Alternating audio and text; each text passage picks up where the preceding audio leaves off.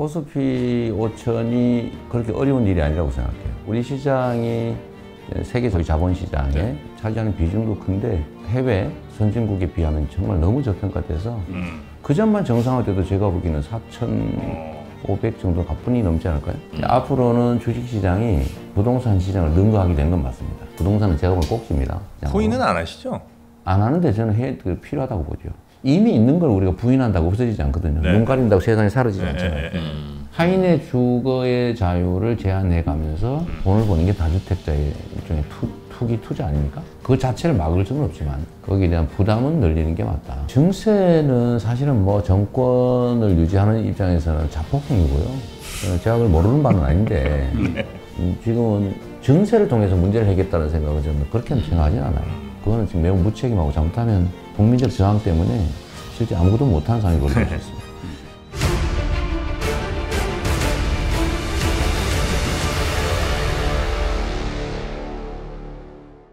3프로TV가 대선 후보를 털어본다. 3대 털 특집 방송 첫 번째 시간 더불어민주당 이재명 후보와 함께 하겠습니다. 반갑습니다. 정프로고요. 네, 이프로입니다. 김프로입니다. 네, 저희 3프로TV와 함께 오늘 특집 방송에 나와 주시는 분은요 더불어민주당 대선 후보 이재명 후보님입니다. 어서 오십시오.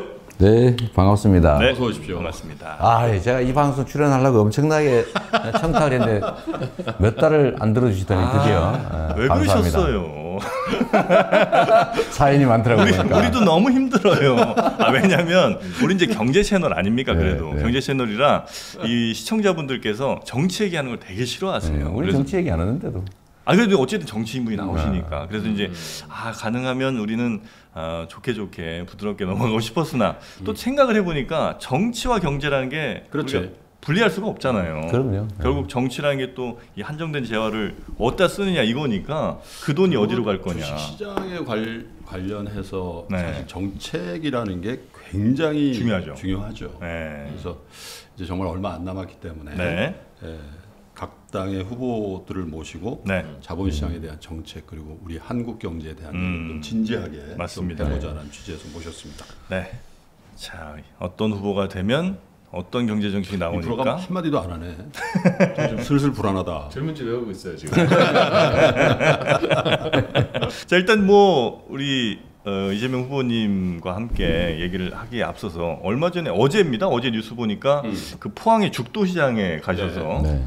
아, 우리 주식 투자자분들이 음. 귀가 번쩍, 눈이 번쩍 뜨일 얘기를 하셨습니다. 뭔데요? 코스피 5천. 5천 가게 하겠다. 아, 이거 747 이런 거가 아, 그 약간 좀. 어, 근데 저는 5천 이러니까. 코스피 5천이 그렇게 어려운 일이 아니라고 생각해요.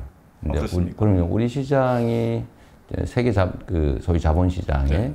차지하는 비중도 큰데 디스카운트 정도가 너무 심해서 음. 음, 제가 예를 들면 뭐 PBR, PER 이런 거 제가 다 보잖아요. 네. 다 보고 어, 투자를 해놔도 사실은 해외 선진국에 비하면 정말 너무 저평가돼서 음. 그 점만 정상화돼도 제가 보기에는 4,500 어. 정도 가뿐히 넘지 않을까요? 음, 디스카운트 지금 3,000 포인트거든요. 그러니까 네.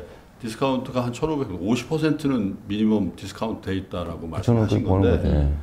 네. 어떤 이유 때문에 지금 디스카운트가 됐다고 보세요? 음, 저는 뭐 여러 가지 요인이 있을 텐데 이제 음. 과거에는 이제 한반도라고 하는 이제 지정학적 요소가 크게 이제 이유가 됐던 것 같고요. 음. 지금은 제가 보기엔 불투명성입니다. 음. 음. 무엇의 불투명성이?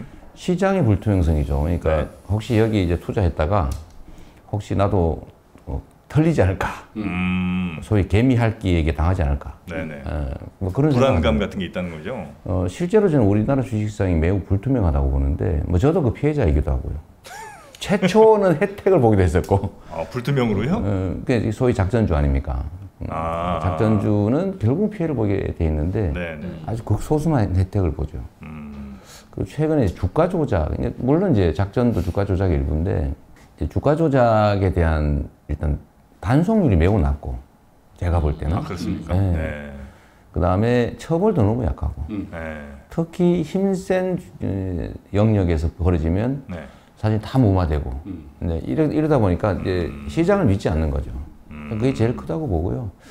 더 근본적으로는 음, 우리나라 경제 구조 자체가 매우 왜곡되어 있다는 점들 때문에 그렇습니다. 어, 얼마 전에 예를 들면은 대기업과 중소기업의 관계들도 보면 네. 중소기업들이 사실 효율을 발휘할 수 없는 불공정 음. 구조가 돼 있거든요.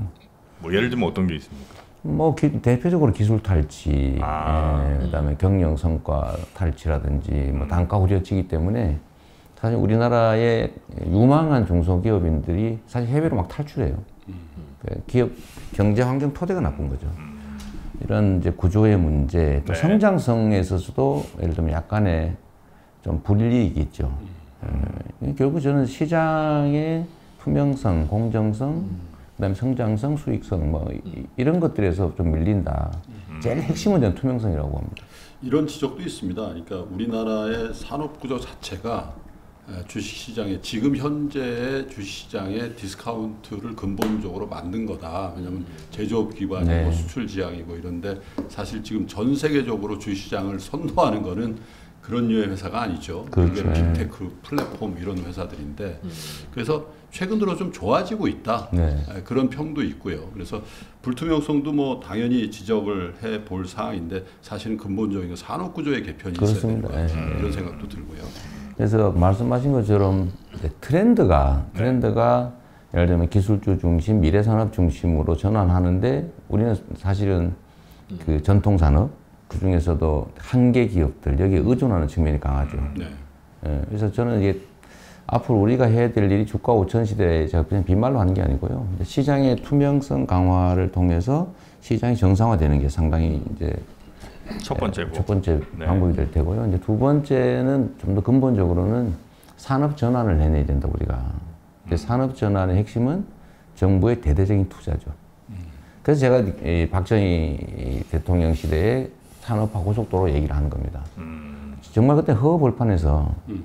산업화의 토대를 만들어냈잖아요. 근데 그 네. 그 토대가 뭐냐면 국가의 대대적인 투자였고, 음. 그 중에 기반시설 투자였죠. 음. 그 다음에 이제 교육 투자. 네, 이런 거였는데 우리도 사실은 이제 질적으로 완전히 새로운 경제 체제로 전환되지 않습니까? 네. 재생에너지 시대로 디지털 전환 시대로 어, 그러면 거기에 맞게 우리 인프라를 새로 구축해야 되거든요.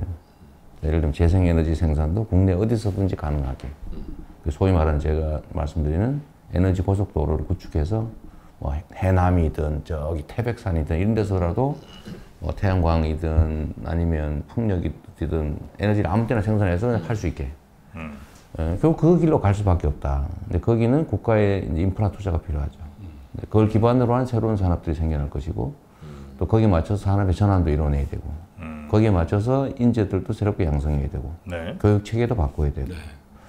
그다음에 기술 부분에 대한 정부의 R&D 투자도 좀 내용을 바꿔야 될 것 같고 음. 어, 그리고 더 핵심은 결국은 예, 시장의 자율성과 혁신 창의를 제고하는 규제 자유화. 음. 규제 혁신 음. 이게 진짜 필요하죠. 음. 특히 저는 이제 규제 합리화에 관심이 많은데 과거에는 사회 변화 속도가 느려가지고요. 관료 정도의 실력이면 예측이 가능했습니다. 아, 어떻게 될 것이다. 네. 그래서 요거 요거 요거만 해라, 해라 하고 음. 해도 아무 문제가 없었어요. 음. 근데 지금 관료가 아는 게 거의 없어요. 음. 속도가 너무 빨라요. 음. 그래서 뭐 허용을 딱 제한해 놓으면 새로운 영역을 진출할 수가 없습니다.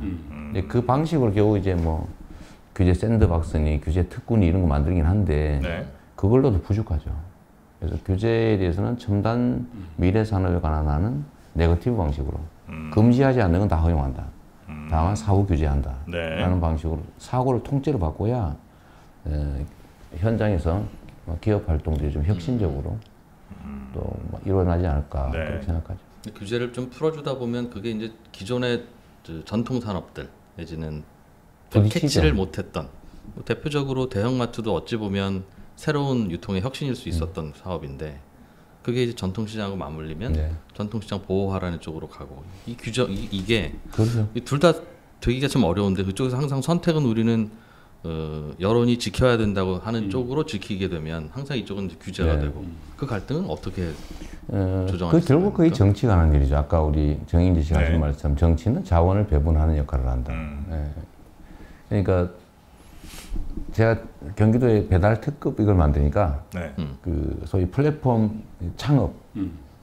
그 사실 족쇄를 물린 거 아니냐 이런 생각을 하는 거예요. 음. 저는 그게 단선적으로 보 맞는 얘기인데 네. 제가 그때 무슨 얘기를 했냐면 혁신의 결과는 존중하는데 독점의 횡포를 허용하면 안 된다. 혁신의 결과가 독점이 되면 안 된다. 혹시 모르시는 분들 위해서 잠깐 청원을 드리면 그 배달 특급이라는 게 지금 뭐 배달의 민족 뭐 요기요 아니면 뭐 쿠팡 이츠 뭐 이런 데서 이제 거의 독점을 하고 있으니까 음. 그걸 이제 경기도에서 만드신 거죠? 그렇죠. 그 비슷한 것들을 경기도가 네. 약간의 지원을 해서 새로운 공공 배달앱 하나 더 만든 거예요. 음. 대신 이제 어, 그 수수료 같은 거를 1%요. 예, 거의 이제 안 다른 받으셨고. 쪽은 되게 한 15%. 잘 되고 있습니까? 지금 경쟁력이 아주 세서 시장 점유율이 계속 올라가고 있어요. 아 진짜요? 그래서 제가 그래서 그 얘기를 한 거예요. 근데 제가 그 얘기를 왜 하냐면 그럴 리가 없을 그럴 리가 없죠. 아니, 솔직하게 저 지금 점유율 얼마나 되는데요? 점유율이 이제 예를 들면 100명 쓰다가 뭐 아니, 300명 쓰다가 300% 늘어나 이런 건 하지 그, 마시고 그런 건 하지 말고 그거는 뭐 그거는 비 그거는 점유율하고 상관없는 거지. 네네. 지금 예를 들어 경기도 일, 부 시군은 이미 1등 하고 있어요. 그 앱이 시장 시장 막, 그 마켓 세율을. 어 그래요? 1년도 안 됐는데. 그거는 왜 배달의 민족이 안 가는 거지? 그 후보님 아니요. 사는 동네만 가는 거 아니에요 혹시? 우리 동네 진짜 하셔야 됩니다. 양, 양평 이런 데는 이미 이미 1위예요. 아 그래요? 네, 양 이런 데 이미 1위고 음. 계속 이게 바뀌고 있는데 제가 그래서 뭔 얘기 듣냐면 그걸 억울하게 생각하지 마라. 만약에 이 혁신의 결과물이었다면 네. 혁신의 결과만이라면 음. 사실은 공공 영역이 침투가 불가능합니다. 음... 불가능해야 정상이죠. 네네네. 그냥 이건 독점의 결과물인 측면이 아... 상당히 있는 거지. 음. 어떤 기업이 정말 기술 혁신을 통해서 완전히 새로운 걸 만들어내서 진입 불가능하죠. 그렇다면 이제 공공이 들어갈 영역이 없지만 이거는 그냥 그 시장만 독점해서 얻는 이익이기 음. 때문에 이거는 공공이 얼마든지 그렇죠. 그래서 그 부분에서 균형을 맞추자는 거고. 네네네. 하여튼 이건 논쟁의 여지가 꽤 있긴 해요. 음. 음. 하여튼 저는 그래서 혁신이 혁신을 이제 음. 혁신의 네. 결과물은 어, 독 그 취하는 게 맞다. 음. 그런데 그걸 이용해 가지고 과도한 수수료를 출발이 그거 있잖아요. 요걸 너무 확 올리는 것 때문에 음. 자영업자 죽겠다 이거. 그런 바람에 제가 이건 내가 보기 혁신의 결과물이 아니라 독, 음. 독점의 그 횡포에 가깝다. 그래서 우리가 만들어서 경쟁해 보겠다고 한 거예요. 네네. 이제 뭐 통상 그런 것 같아요. 네. 그 미국에도 이제 혁신 기업들이라고 하는 회사들이 플랫폼을 형성하잖아요. 네. 근데 결과론적으로 다 과점 형태로 가죠. 그래서 네. 미국의 민주당 정부에서도 그걸 어떻게 좀 해보려고 하는. 근데 그 과점의 피해를 보기 때문에 독과점의 피해를 누가 보는가? 음. 지금 이제 매주 타는 버스 타고 돌아다니시는 그 제일 많이 가시는 시장 상인들 네. 비롯한 소상공인이나 자영업자 이런 분들이 피해를 보잖아요. 그래서 그 간극을 어떻게 정책적으로 잘 음. 줄여낼 수 있는가가 아까 말씀하신 자원의 배분도 그렇죠. 받고 예. 정치의 영역인 것 같은데 맞습니다. 어려운 숙제인 것 같습니다. 어, 근데 그게 이제 자칫 잘못하면 포퓰리즘으로 가는 거고요. 네. 음, 또, 또 자칫 잘못하면은, 네, 양극화를 그 심화시키는. 그렇죠. 네, 또 기득권에 음. 이렇게 뭐라 그럴까, 편드는 그런 결과를 음. 있죠. 그, 결국 정신의 중심을 잘 잡아야 됩니다. 그 중심의 포인트를 판단할 때 기준이 뭐세요? 그 굉장히 음, 중요한 포인트인 것 같아요. 뭐, 나름의 합리성이죠. 어, 결국 의견은 다를 수밖에 없고, 이해관계에 따라서. 음. 저는 최대 다수의 최대 행복이라고 하는 기준에 맞춰보려고 노력하죠. 그 많은 사람들. 네, 더 많은 사람. 그 말은 자칫하면 포퓰리즘과 동의어가 될 수도 있지 않습니까? 음, 그게 뭐 엘리트주의보다는 낫지 않습니까? 음. 자 여기서 이제 그 CG로 이렇게, 이렇게 VS 막 싸우는 거 이렇게 딱좀 넣어주시고. 아니 언제나 그런 능력이 있죠. 그렇죠. 자, 그걸 조정하는 게 재밌고. 이렇게 합시다. 여의도 음. 여의도에서 우리가 인터뷰를 하고 네, 네. 또 사실 후보님이 나 좀 주식 얘기 좀 해달라고 그렇게 네. 아 주식 주식 투자 이야기 아, 궁금했어 나 궁금했어 주식 얘기 좀 합시다 아, 사실은 주식 주식 투자 얘기는 제가 궁금한 게 하나가 이제 언젠가부터 재산 등록을 음. 하시잖아요 네. 그러면 재산 등록에 음. 주식 종목이 음. 깨알같이 떠요. 어. 지금 그렇죠. 일단 명의 신탁 돼 있는 거죠. 아 지금 백지 신탁 다 팔았. 아, 다 파신 거야. 아, 시작하는 건 팔았을 텐데. 음. 그 대개는 이건 데 대개 이제 주, 증권사 직원한테 일임해서 음. 증권사 직원이 그냥 알아서 사고 팔고 했던 결과일 수도 있고 아니면 본인이 직접 투자했을 수도 있는데 그것도 수수료 아끼시려고 HDS로 아, 물론 아니 당연히, 당연히 본인 초이스인지 아니면 그냥 어떻게 맡기다 보니 증권사 직원이 음. 그거 사게 됐어인지 궁금하더군요. 저는 100% 제가 어, 다 고르고요. 어. 제가 그 기업 분석서도 다 읽고, 음. 어, 그 다음에 그 주식 교과서도 엄청나게 많이 보고. 3프로 TV는 안 보셨습니까 혹시? 3, 그건 이미 제가 주식을 다 매각 당한 다음이었기 때문에 아, 그 다음에 볼 필요가 네, 없다. 네. 요새는 뭐 볼 필요가 없고 요즘은 정치적 판단을 위해서 정무적 감각을 위해서 보는 정도. 아. 네, 뭐 신문 보고 뭐 이런 정도고요. 음. 제가 주식을 시작했던 거는 사실은 저는 주식하면 안 된다는 교육을 받고 자란 사람이에요. 대부분 그렇습니다. 네, 대부분. 주식하면 아, 한다. 패가망신. 패가망신 절대 네. 하면 안 된다. 네. 그래서 제가 대학을 졸업한 다음에 네. 절대로 안 하게 마음 먹고 있는데 제 대학 친구 증권회사 근무하는 친구 권유로 음. 주식을 샀다가 음. 첫 주식을 대박 나는 몰랐는데 네. 작전 주식이었던 거예요. 그한 90년대쯤입니까? 92년이었어요. 92년. 아, 30년 딱 됐네요. 네, 92년이었는데 네.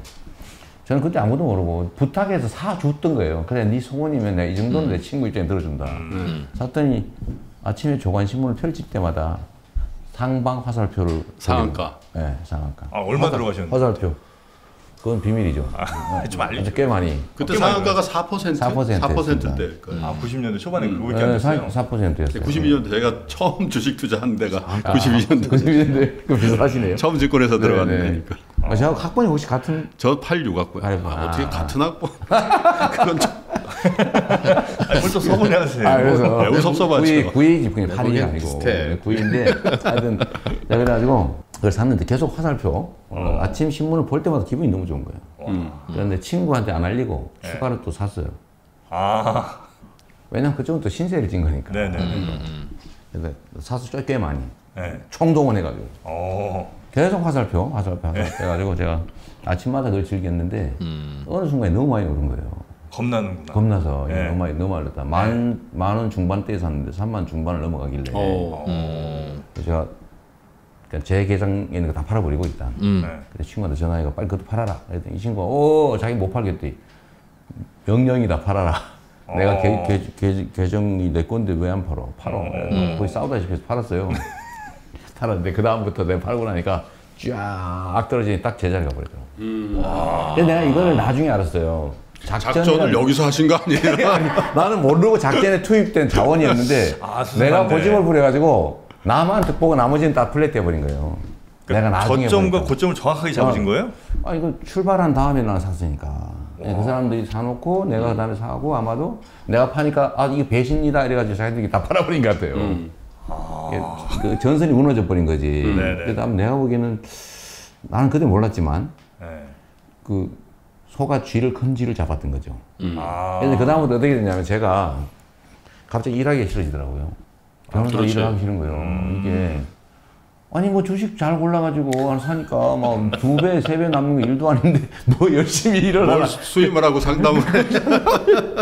진짜로. 주, 가 조작이 저 공소시효가 어떻게 됩니까? 아니, 끝났나 이거 고의가 고의가 없어서. 아, 아 무죄. 네. 네, 알겠습니다. 근데 그래서 일을 진짜 안 하고 그 다음부터는요 네. 맨날 주식만 보고 경제지 음. 다 구독. 아, 경제지도 열이 다. 아.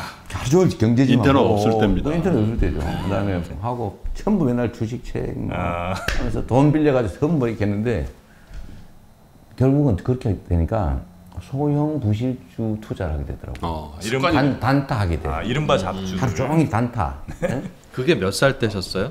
제가 그 스물, 이십 대 후반이나 서른이나 스물아홉 쯤 되셨을 거예요. 스물아홉. 여덟, 아홉, 아홉, 열, 뭐 이럴 때좀 시작했죠. 근데 결국은 소형주들 막 잔뜩 그것도 막 보유 주식이 막 20, 개씩 되고 막 이렇게 됐는데 막 완전 자빠삭. 어, 저랑 비슷한 지금 제가 이렇게 했다가 결국은 점점점 이렇게 그 개입 정도가 높아지니까 네. 이 단타도 속이 안 찬 거예요. 음. 그래서 선물. 아, 선물. 선물 가야죠. 아. 네. 선물도 하고 그 다음에는 이제 콜 옵션. 아, 옵션 파생 파생으로 갑니다. 네. 그다음 심지어 이제 마지막에는 풋 옵션 매도까지. 음. 아. 아. 미친 짓이죠. 지금 지금 생각 진짜 미친 짓인데 천 원짜리 사고 이랬어. 음. 풋옵션. 전문 투자자. 그렇게 했는데 진짜 주식 투자자의 폐가망, 폐가망신의 딱그 티피컬 웨이거든요. 똑같이. 네? 아, 악한 경로. 딱 저렇게 가는 거. 어, 네. 아, 그리고 네. 나서 이제 변호사 생활을 열심히 하셨겠네. 그렇죠. 그래가지고 제가 어느 날 IMF 상황이 왔잖아요. 네. 맨날 진짜 잠을 못 잤다니까요. 아. 미국 주식시장에 따라 우리가 움직이잖아요. 그렇죠. 네. 전날 밤 미국 주식시장이 그 다음날 우리 시장이 그대로 반영이 되는데 음. 맨날 조마조마하면서 미국 시장을 쳐다보고 있는 거예요. 음. 다음날 막 하한가로 떨어지고 막 이러니까 팔 기회도 없고. 네. 근데 그 와중에도 또 아이는 또 만드셨나요? 진짜 이 양반이 왜 이러십니까? 그 전에 다 나왔어요. 아, 그 전에 다 나왔어요. 이미 다 나왔고. 그래가지고 세상에 IMF에 그걸 사실 풋옵션 매도까지 맞았으니까 얼마나. 음. 그래가지고 싹 단을 냈어요. 아. 집 하나 사고 그때 제 아내의 강권으로 네. 제 아내한테 차도 한 대 사줬거든요. 네. 한참 벌릴 막 오를, 오르니까. 네. 근데 IMF 때 보니까 얼굴이 시커매져 있으니까 아마 이 사람이 눈치를 챘겠죠. 음. 그래가지고 결국 집을 그때 하나 사고 싹 정리를 한 거예요. 남은 건집 하나. 집 하나. 아, 어, 그래도 대단한 그래서, 거지. 그래서 부동산이 좋다니까. 그래서 그때 그때 2억 전세 보증금 있는 거 가지고 돈 1억 5천 빌려 가지고 네. 집을 3억 6천에 샀어요. 그 집이 지금 그 지금 집이에요? 살고 있는 그 집이에요. 처음 아, 집을 샀는데 음. 20억 그, 됐잖아요. 네. 그럼 뭐 어떻게 알았어요? 아직 다 알죠. 20억 됐어 지금. 그래도 그게 사실 거의 전 재산이고 네. 우리는 한 번 실패하면 거기서 포기하지 않거든요. 원래 폭탄이 떨어진 자리에 포탄이 다시 안 떨어진다며요. 물론 확률적으로는 아니지만. 포탄 떨어진 자리 숫자를 그래서. 네. 그래서 내가 다시 시작한다. 주식을? 그럼요. 그래서 처음부터 다시 점검해가지고 왜 실패했나. 네. 결국 제가 성공을 해가지고 본전을 찾았을 뿐만 아니라 그래서 돈을 좀 꽤 많이 벌었습니다. 음. 그건 IMF 끝나고. 끝나고. 어. 집 사고 다시 좀 돈 모으고. 아니 근데 후보님 제가 알기로는 변호사 시절에 시민운동을 굉장히 열심히 한걸 알고 있는데 알고 보니까 거짓말이었어. 아, 개장 시간에는 주식하고 일하고 주말과 저녁 오후에는 시민운동하고 하는 거지. 하루 종일 한 사람이 하나만 합니까? 그래도 부동산 수익률이 더 높죠, 아닌가요? 부동산 수익률보다 그냥 주식 수익률이 망한 걸 기준으로 하면 더 아, 높았죠. 어... 음. 처음 시작한 걸로 하면 가다가 네. 팍 떨어져가지고 제로 된 다음에 어... 다시 시작해서 이만큼 왔으니까 별로인데. 1억 5천짜리가 20억 됐는데 그래도 주식이 아니, 더 좋더라. 5천짜리. 3억 5천인데 음. 본인 돈 2억에 이제 1억 5천 대출. 아 그렇게 해서 네. 원금이 2억이지 그러니까. 네. 음. 좀 그렇게 됐는데 주식을 98년에 완전히 망해서 제로 된 다음에 음. 다시 한 2, 3년 돈 버, 벌고 모은 거 그다음에 주변 동원해가지고 다시 날린 걸 다 찾고 음. 충분히 돈을 벌 정도가 됐으니까 전자산이 음. 주식을 한 12억에서 5억 정도까지 올라갔으니까 음. 어 주식 네. 야 부러워하는 정프로 말 제가, 제가 13억을 가지고 있다가 네. 그 백지 신탁 결정이 나서 제가 도지사 된 후에 전부 팔았죠. 음. 그뭐 이렇게 이, 우량주 장기 네. 보유 분할 비공개 정보 이런 건 이용하신 거 없죠? 전혀. 뭐 우리는 음. 나는 누가 정보를 줘요. 음.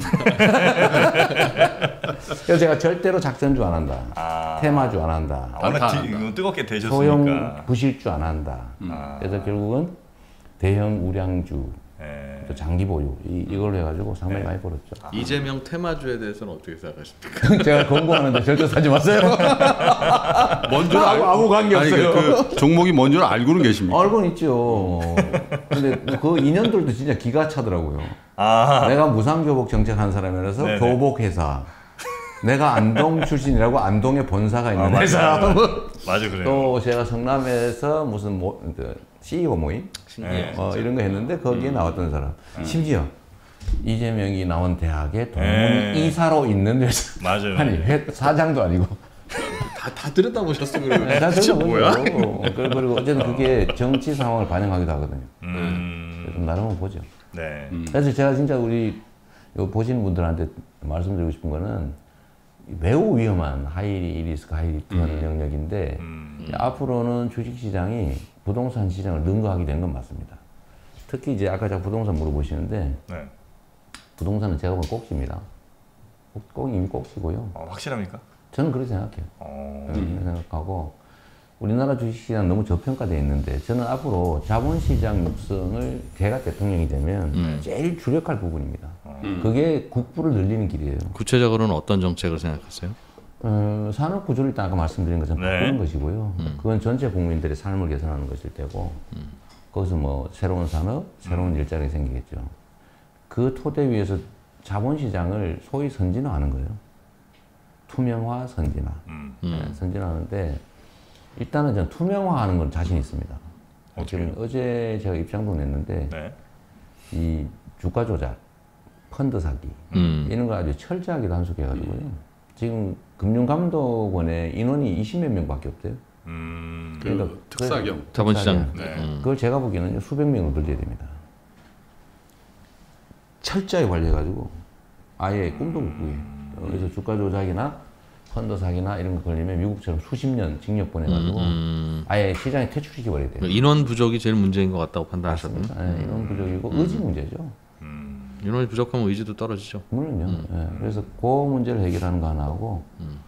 예를 들면 이제 구조상 불평등이 있어. 저는 개미 출신이잖아요. 네. 아마 여러분들은 개, 왕개미, 왕개미는 큰 개미 정도. 큰 개미 출신의 대통령을 처음 볼 가능성이 있는데 이 시장의 불공정성이라고 하는 게 네. 직접 많이 당한 사람이거든요. 아. 투자를 통해서. 네. 진짜 대주주는 임원 그 저기 자산 비싸게 사주고 네. 회사 자산 싸게 팔고 아. 이것만 해도 돈을 버는 일도 아니더라고요. 음. 뭐 아, 샀다 팔았다 해 자기들끼리. 뭐, 그렇죠. 네. 네, 그런 많잖아요. 음, 음.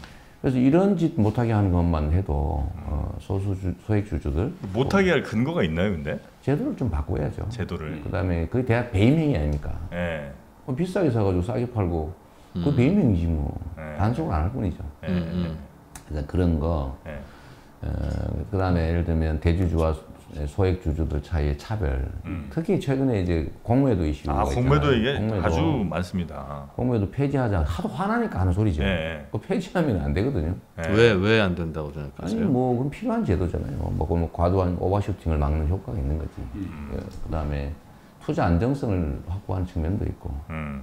그러니까 이거를 공매도를 폐지해 버리면 우리가 선진 지수, 소위 모건 스탠리 선진 지수에 우리가 들어가야 네, 네, 네, 네, 네. 들어가야 사실은 뮤추얼 펀드들이 투자를 할 거 아닙니까? 장기 음. 투자를 할 텐데 지금 이머징 마켓으로 분리되어 있으니까 장기 음. 투자가 안 들어와요. 음. 음. 그러니까 확 들어왔다 확 나가버리고 막 이러니까 시장이 불안정하고 아. 그게 또 저평가의 한 원인이에요. 네네네. 네, 네. 그래서 이런 것들도 좀 제도적으로 고치고 음. 그러려면 공매도를 폐지할 게 아니라 합리화해야 되는 거죠. 어떻게 해요? 그 중에 하나가 이제 공매도 폐지하던 사람들이 제일 화나는 게 나는 공매도 하면 90일 안에 반드시 응? 도로 사야 되는데. 네, 네. 개인은 그렇죠. 개인은 근데 기관은 뭐 그런 것도 계속 연장이 가능해요. 아, 기울어졌다. 기울어졌죠. 네. 그러니까 맨날 당했다는 느낌이 드는 거죠. 음. 시장 불신의 원인이 된다. 네. 또는 뭐 공모주 청약도 꼭 기관들한테 많이 줘야 될 이유가 뭐 있냐. 음. 네. 또 국민들한테 많이 주면 사실 국민주 효과도 있지 않냐. 그 공모주 청약은 기관들한테 배정을 많이 하는 건 안전판의 역할을 아, 하긴 하죠. 그런데 그 음. 그 비율을 좀 조정할 수도 있다. 충분히. 음. 개미들이 많이 원하는 거는 사실은 안전판 안 해도 된다는 얘기잖아요. 그러니까 사실은 그런 거잖아. 뭐 적다면 또 모르겠지만. 음. 그래서 여하튼 그런 제도들 좀 혁신을 통해서 공정성, 공정한 질서를 회복하는 것. 음. 두 번째로는 질서를 어기는 자들에 대해서 음. 완벽하게 퇴출하는 것. 음. 그번 거보다 더 많이 물어내게. 네, 네. 꿈도 못 꾸게. 음. 그리고 반드시 걸린다 이런 생각 들게. 그 정부가 할 수 있습니까? 할 수 있죠. 아, 뭐 국회 따로 도움 안 받아도? 저는 지금 단계에서 저 금감원의 조사 인력만 대폭 늘려가지고 네. 의지만 충분히 가지고 있으면 지금도 음. 얼마 지금 있는 제도도 훌륭해요. 음. 안 지켜서 그렇지. 음. 그래서 그런 것들 그다음에 산업 전환을 좀 더 해내면 저는 원래 이게 주식시장은 미래를 보고 그 그렇죠. 만들어진 시장이잖아요. 음. 그러니까 우리 산업이 아 대대적으로 재편돼서 음. 어, 미래 산업 중심으로 어, 진짜 질적인 전환을 이뤄낸다. 네. 그 길로 가는구나 판단되면 제가 보기엔 시장이 상당히 음. 커질 거예요. 음. 그럼 국부가 커질 거고 우리 국민들한테 새로운 투자 기회를 주는 거죠. 음. 음. 특히 지금 이제 청년들이 투자할 곳이 없지 않습니까? 네. 부동산 시장이 막혀버렸고 음. 또그 이전 단계로 근로소득으로 뭔가를 자산을 형성하는 것은 불가능하다는 생각되는 거고 음. 근데 부동산은 이미 거의 끝물이고 그래서 이제 코인 시장으로 몰려갔는데 네네네. 가상자산 시장 코인은 안 하시죠? 안 하는데 저는 해, 그 필요하다고 보죠. 어... 코인 시장이 아니면 뭔가 코인 투자 시장이라고 하는 게 필요하죠. 음. 이미 있는 걸 우리가 부인한다고 없어지지 않거든요. 네. 눈 가린다고 세상이 사라지지 네, 않잖아요. 네, 네. 음. 근데 관료나 정치인들 중에는 그런 청, 이걸 이제 그런 거죠. 음. 손바닥으로 하늘 가리기. 음. 그런 사고를 가진 사람이 많아요. 내가 네. 부인하면 없어진다. 음. 안 없어집니다. 주식 시장에서 하시, 하면 안 되겠다고 생각하는 소형주 내지는 뭐 그런 종목과 코인 시장에 수많은 코인들이 비슷하다는 생각은 안 드셨어요? 음, 약간 비슷하죠. 약간 음. 비슷한데 지금 저는 주식 시장에 그 부실주들 있지 않습니까? 네. 저는 뭐 여러분들 어떻게 생각할지 모르겠는데 어, 그 중에 일부는 좀 퇴출을 시켜야 되는 거 아닌가? 너무 너무 너무 그냥 놔둔 거 아니에요? 제 주식은 어떻게 합니까? 아, 그러니까 왜 그런 거야? 빨리, 빨리 바꿔. 그러니까. 아, 올라갈 줄 알았죠. 어쨌든, 어. 어쨌든 그런 문제가 있는데, 네. 주식 시장 얘기를 먼저 좀 드리면, 네. 주식 시장이 네. 에, 앞으로 우리 음. 새로운 세대들 투자, 네, 네. 투자의 장으로 좀 안정, 음. 안정적으로 발전하게 해줘야 된다는 생각을 음. 하고요. 음. 그 면에서 이제 가상자산 시장도 음. 일단 이렇게 방치할 일은 아니다. 이미 코스피 거래액을 넘어섰다면서요? 네. 네, 네, 네. 이미 있는 거잖아요. 네. 여기서 마구 우리는 해외로 투자할 판인데. 음. 그러니까 이거 부인하면 밖으로 빠져나간다고 오히려. 음. 그러니까 차라리 잘 관리하는 게 중요하고 시스템을 만들고 두 번째는 좀 서울대 뭐 경제학과 그 학생이 그 물어봐서 네. 그 시니어리지를 어떻게 처리할까. 아, 네네네. 근데 가만 놔두면 그다 해외로 다 빠져나가지 않습니까? 네네. 음. 그게 어떤 말씀이죠? 해외로 빠져나간다는 게? 그러니까 지금 코인이라고 하는 게 실제로 거래를 하고 있는데 다 해외 코인들이잖아요. 주로는. 음, 네, 네. 그러니까 우리가 해외에다 돈을 쓰는 꼴이죠. 해외에서 우리 투자자들한테 팔고 나가고 있는 거죠 지금 사실. 그렇죠. 해외 네. 코인이 우리나라 와서 IPO하고 그렇죠. 밖으로 나가는 아. 거니까 우리나라에서 거래돼도 그 돈은 해외 투자자가 가져가는 거죠. 그렇죠. 음. 예. 그리고 우리는 비싸게 사고 있는 거고 사실은. 음.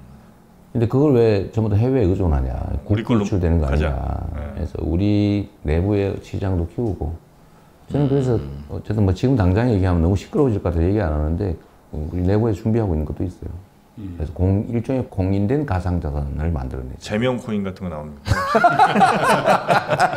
그래, 그거는, 그거는 그렇게 하면 안 될 것 같고. 제명 코인 샀다가 제명이 못 어, 실물 자산, 기초 자산이 담보된 네. 음, 뭔가 네, 그런 것도 한번 고려해야 아, 되겠다를. 기초 자산 이제 정부가 정부가 뭔가 역할을 하겠다는 뜻입니까? 네.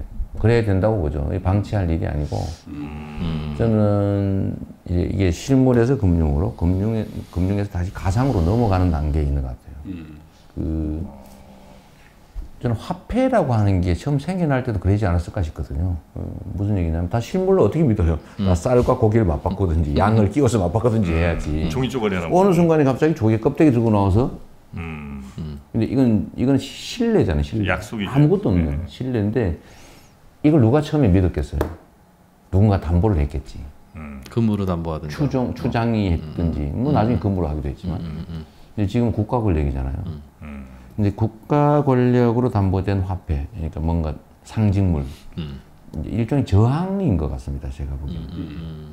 이 가상자산이 이 국가 권력에 의한 화폐 독점에 저항하는 측면이 있어요. 독점이자 타락이라고 네, 네. 너무 많이 찍어내. 너무 많이 찍어낼 뿐만 네. 아니라 도대체 뭘 하길래 그 중간에 뛰어먹는 게 그렇게 많냐. 음. 어, 인도네시아 사람이 한국에 와서 일해서 인도네시아로 하나를 인도네시아로 바꿔서 홍보만 하려 그러면 음. 한 매우 한, 한 20%? 맞습니다. 한 20, 30% 날라가지 않아요? 아, 그렇게 많이 들어가요. 음. 아니 환전 수수료 들지, 네. 송금 수수료 들지, 음. 시간 걸리지, 음. 그 왔다 갔다 비용 들지. 그런데 코인으로 가상자산으로 하면은 음. 비용이 하나도 없고 음. 실시간으로 아주 간단하게. 이 새로운 시장이 열린 거잖아요.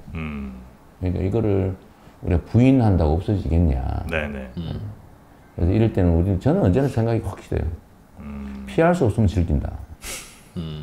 그래야죠. 네네. 우리만의 문제도 아니니까. 네, 그럼요. 피하, 피하면 더 문제가 되니까. 음. 그럴 때는 우리가 앞서 나가 버려야죠. 근데 이제 국가의 권력에 대한 불만 내지는 저항 이제 이런 것이 이제 개념화되어서 만들어지는 코인과 국가 권력을 갖고자 하는 분의 생각은 서로 충돌할 수밖에 없을 텐데. 충돌하더라도 관리해야죠. 음. 그러니까 저는 있는 현실을 인정하자. 음. 아니 뭐 통제할 수 있다면 통제하는 게 바람직하겠지만 음. 이미 있는 걸 어떡하냐. 통제가 불가능하다는 걸 중국이 보여주고 있잖아요. 막은들 뭐 합니까? 음. 해외 계좌로 거래하는데. 음. 그러잖아요. 그 관련해서 사실 네. 이 자본시장의 지금 가장 큰 경향성이라는 게 뭐 들어보셨을 텐데 야 국장 팔고 미장 가자 이런 얘기를 많이 음. 한단 말이에요. 네. 한국 주식 팔고 그렇죠. 미국 주식 사자. 음. 워낙 이제 이른바 디커플링이 워낙 음. 심해지고 있고 이게 어떻게 보면 일시적인 게 아니고 구조의 문제라고 생각하는 투자들이 굉장히 많이 늘었어요. 음. 그리고 실질적으로 금융회사 특히 음. 증권회사도 음. 그런 쪽에서 수익이 나니까 마케팅을 그쪽으로 비용을 많이 쓰기도 하고요. 저는 이게 추세 문제라고 생각합니다. 예를 들면 코스닥에서 다 코스피로 옮기려고 그러잖아요. 음.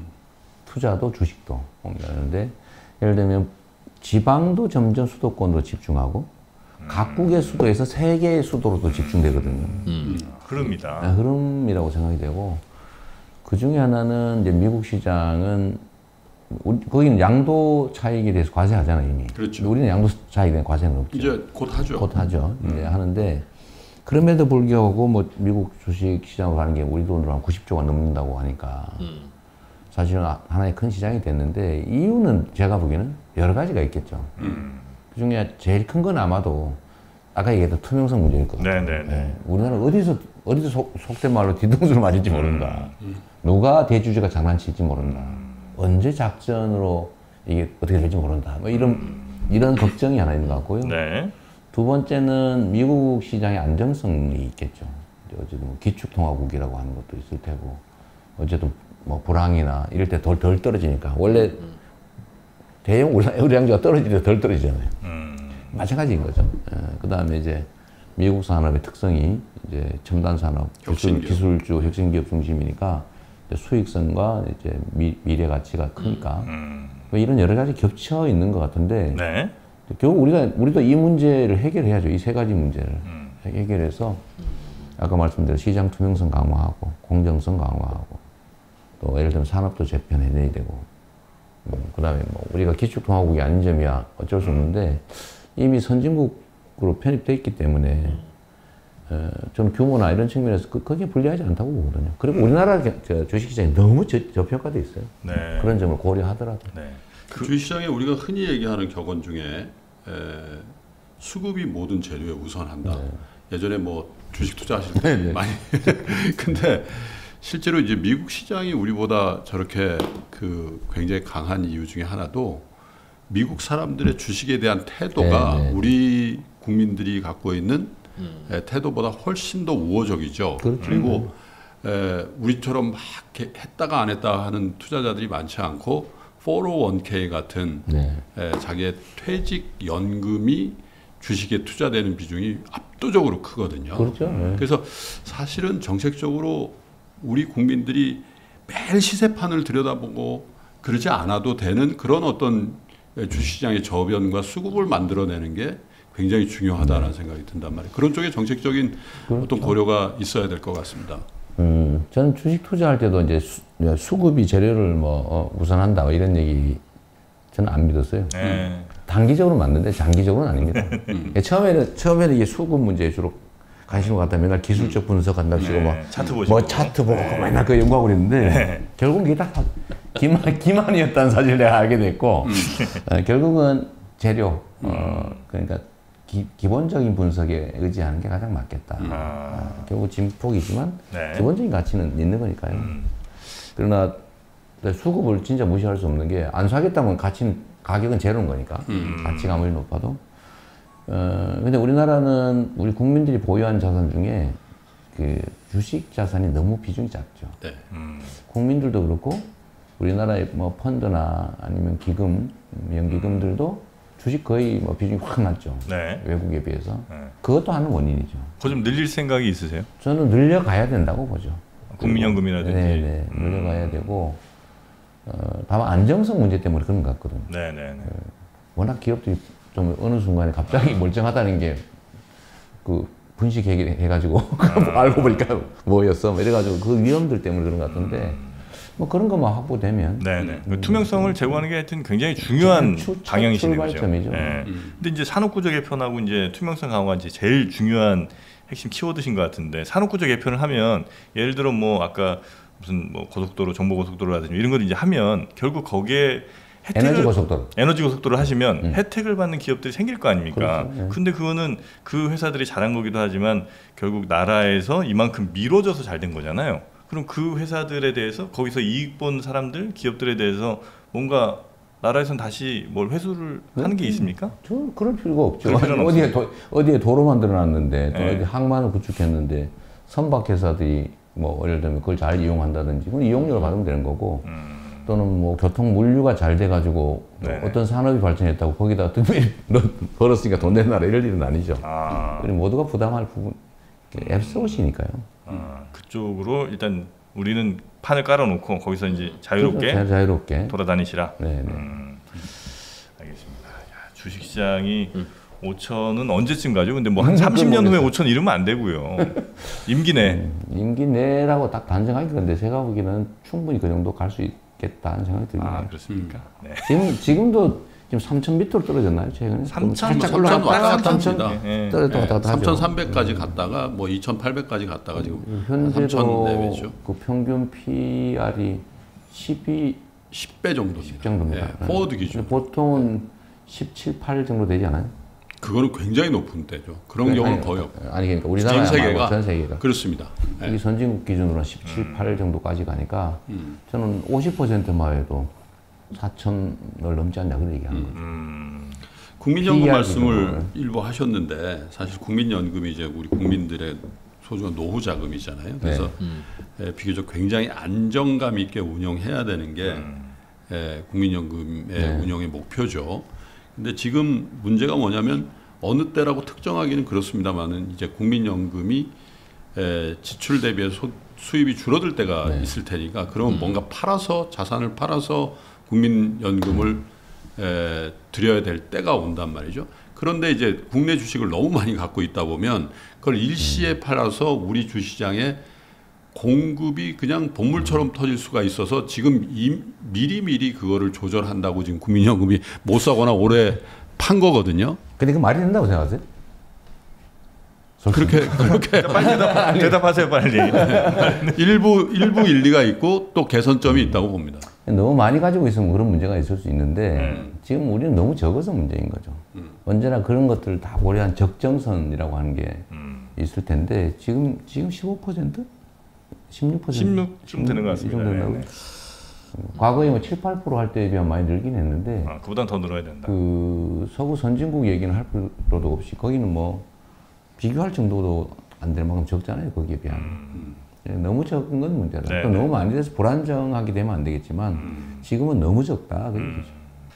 자, 주식 시장 관련된 얘기를 저희가 이제 한참 좀 나눠 봤고요. 또 경제 관련해서 제일 궁금하신 분야 하나가 또 부동산 아니겠습니까? 네. 예, 부동산 에, 뭐 여러 정책들이 또 아마 나온 걸로 알고 있는데 부동산은 예를 들어 이재명 후보께서 대통령이 되면 우리 부동산 시장은 어떻게 됩니까?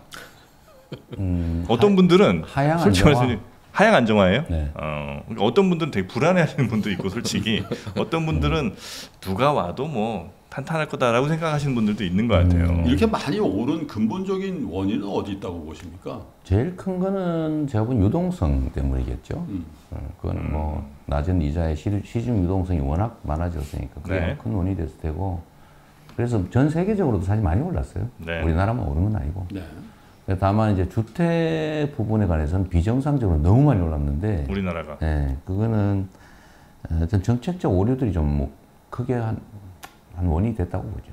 예를 들면 예를 들면 시장이 공급이 부족하다고 느끼면 공급을 늘려주는 액션을 해야 되는데 그 시장의 요구를 부인한 측면이 있는 것 같아요. 아, 공급 충분하다. 네. 네, 왜냐하면 시장은 심리거든요. 네.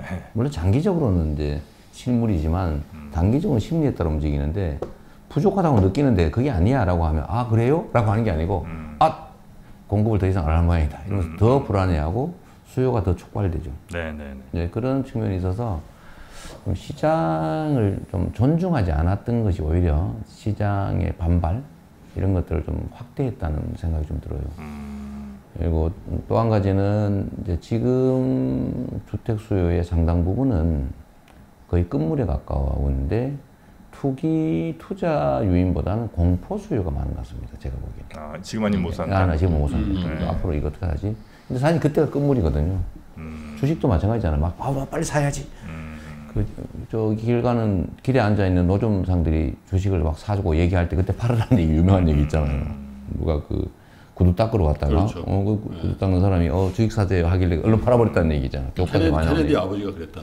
뭐, 유명한 얘기인데 사실은 부동산도 하나의 시장이고 거기에 이런 정상 수요, 그다음에 투기 수요, 그다음 단계 공포 수요가 생겨날 단계가 되면 끝이라고 보여지는데 네.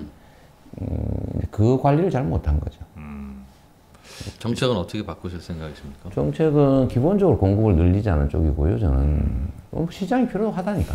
음. 그다음에 정상적인 공급을 하되 이제 왜곡된 수요는 여전히 줄이는 건 계속 해야 되겠죠. 그리고 뭐 과수요, 투기 수요, 공포 수요 이런 것들을 줄여 나가야 되고요. 거기는 뭐 각종 정책들이 동원되죠. 음. 뭐 조세, 금융, 거래 제한 뭐 이런 것들이 동원되겠지만 또 한 가지는 전 가격은 존중하자. 자꾸 가격에 집착을 하니까 부작용이 발생하고 풍선 효과가 생기는 거죠. 저는 그 생각을 하거든요. 어떤 사람들이 나는 한강이 내리다 보이는 남산의 남산 자락의 아파트를 내가 뭔 수를 써서라도 사겠다는 사람이 있단 말이에요. 네. 나 가격 불문 이런 사람도 있어요. 그렇죠. 희소성도 희소성이라는 하는 게 있거든. 음, 음. 근데 그걸 억, 억, 억압을 하면 부작용이 발생한다는 거죠. 그래서 거기에 대해서 가격은 인정하고 상응하는 부담은 지운다. 음. 그 공급을 정상화하고 수요가 정상화된 상태에서 만들어진 시장 가격은 존중한다. 이게 첫째로 중요하고요. 지금도 가격을 존중하지 않은 것은 없지 않습니까? 정책 아니, 중에 어느 지역의 가격이 너무 오르니까 그걸 억압하기 위한 정책이 목표가 되는 경우가 예를 들면 10억 넘는 주택에 대한 대출 금지 예를 든다면 네. 음. 또 강남의 주택 가격을 억누르려고 한다든지 근데 그건 수요 공급이 맞춰서 생겨나는 것들은 사실은 용인할 수밖에 없거든요. 음. 그, 그 가격 자체를 누르는 거는 사실은 부작용을 불러오죠. 제 생각에는. 음. 수요 공급을 통해서 가격을 조정해야지 네. 가격을 넘기는 수요 공급이 왜곡됩니다. 음. 제 생각은 그렇고 공급을 적정하게 늘리는 것들을 해야 되겠다. 그 말씀 들어보니까 어, 시장을 굉장히 어, 존중하신 많은 분들의 오해가 좀 있는 것 같습니다. 그럼 이건 오해 좀 풀어주셔야 되는 게뭐 이렇게 세금을 이제 좀 과도하게 어, 매길 거라는 음, 사람들의 오해. 뭐, 그건 전혀 아니고요. 오히려 네. 제가 지금 최근에 저는 정말로 시장을 존중하는 입장이고 또 현장적이기 때문에 실용적이기 네. 때문에 양도세를 강화해야 된다고 하는 게 소위 진보 진영의 일관된 입장이라는 거 아니에요? 네, 네. 어, 저는 그보다 보유세를 강화해야 된다는 쪽의 논리에 더 사실은 동의하는 편이기도 하고 음. 양도세를 강화하는 목적이 세금을 많이 받기 위한 것이거나 제재를 위한 목적이 되면 안 된다. 그건 거래 정상화를 하기 위한 거죠. 음. 근데 그래서 제가 최근에 그 얘기를 하지 않습니까? 에, 양도세 중과의 목적이 뭐냐? 음. 그 다주택 양도세 중과. 네. 그거는 다주택을 해소하기 위해서 그런 거 아니에요? 예. 시장의 공급을 늘리기 위한 거잖아요. 음. 그 다음에 이제 투기 수요를 줄이기 위한 목적도 동시에 있는 거고. 그래서 그런 경우에, 근데 만약에 작동을 안 하면 작동을 하게 해야지. 근데 지금 밀어놨더니 1년간 미뤘잖아요. 입법하면서. 네. 시행을 미뤘는데, 그동안에 팔아라. 음. 라고 했는데 팔지 않고 증여를 주로 했거든요. 네네네. 네, 네. 팔면 이제 기존의 양도세도 아까운 거죠. 비싸니까. 음, 비싸니까. 음. 근데 지금은 이제 그것도 같이 중과되니까 딱 멈춘 상태예요. 물론 훌륭한 태도는 아니지만 시장은 존재하는 거니까 그렇게. 음. 근데 이게 이제 종부세가 부과가 됐잖아요. 음.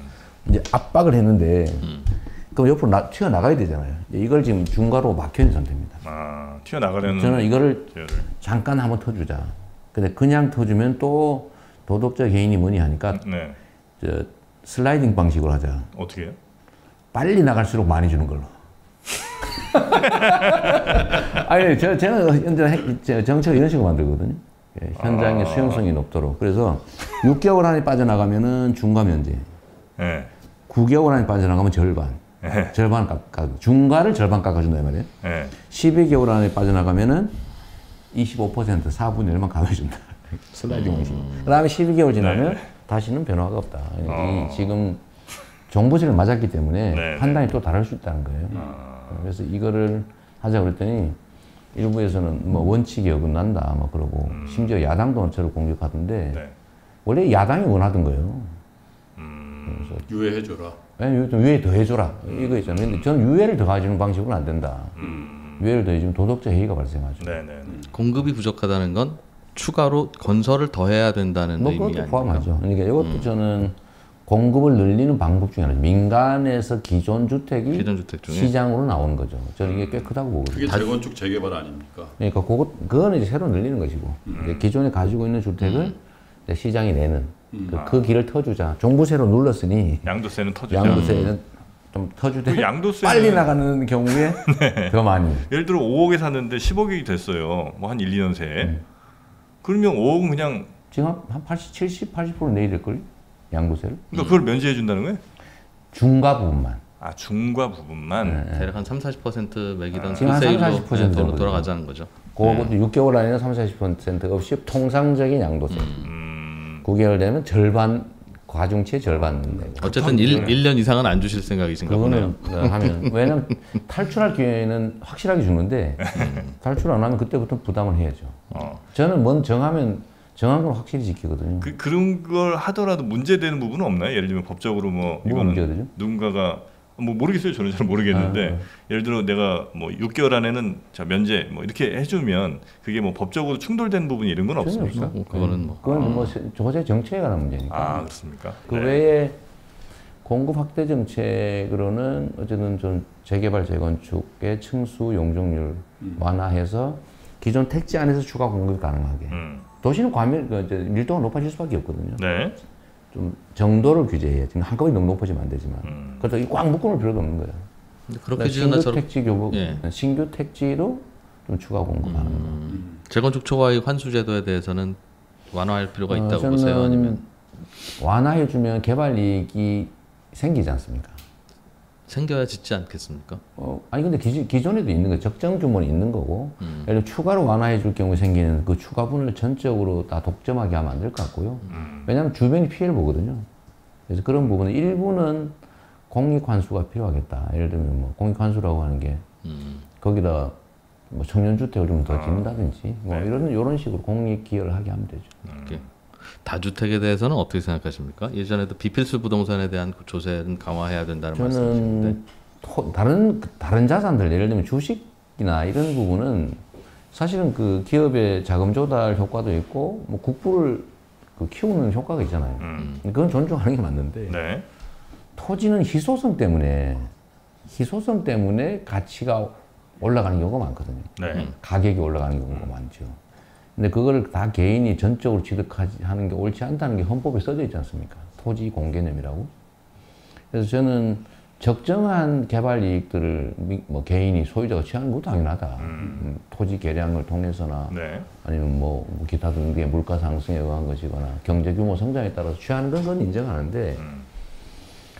공공의 권, 권력이 개입돼서 생기는 거, 음. 예를 들면 거기다가 갑자기 토지의 용도를 바꿔줬다든지, 네.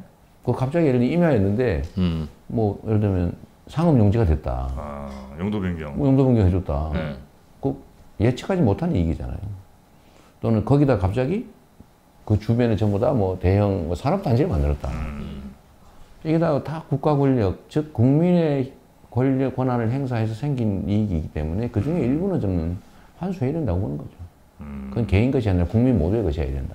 물론 그러니까 당연히 1주택보다는 다주택에 대해서 양도세가 무거운 것이 1주택은 비, 비과세가 꽤 기니까요. 보유세 네. 부담도 좀 더 늘릴 필요가 있고 그 중에서도 주택 문제는 우리가 특별히 다른 부동산하고 또 다르게 봐야 되는 게 저기 불필요한 곳에 있는 임야하고는 또 다르게 봐야 되잖아요. 음. 사람들의 주거라고 하는 헌법상의 기본권 보장을 위해서 불가피한 음. 시설이 주택인데 네. 네, 이 부분에 대해서는 좀 보호를 해줄 필요가 있고 타인의 주거의 자유를 제한해 가면서 음. 그걸 활용해 가지고 돈을 버는 게 다주택자의 일종의 투, 투기 투자 아닙니까? 거기에 대한 부담은 더 늘려야죠. 그 자체를 막을 수는 없지만 네. 거기에 대한 부담은 늘리는 게 맞다. 그렇게 되면 다들 이제 팔려고 할 거고 다주택을 안 하려고 하면 세입자용 주택은 누가 공급하느냐 문제는 음, 어떻게? 물론 그렇죠. 근데 그렇다고 다 없어지지는 않을 거고 예, 그 부담과 세입자로 인해서 얻는 이익을 다 비교하겠죠. 그럼 그 부담이 세입자로부터 얻는 월세나 음. 전세로 뭐 충족될 때까지 월세나 전세가 음. 오르든가 아니면 그게 공급이 안 되든가 해결이 안 되는 음, 문제라서 해결이 안 되는 건 아닐 테고요. 에, 그건 다장 균형을 맞춰 나가는 게 시장이라고 보죠.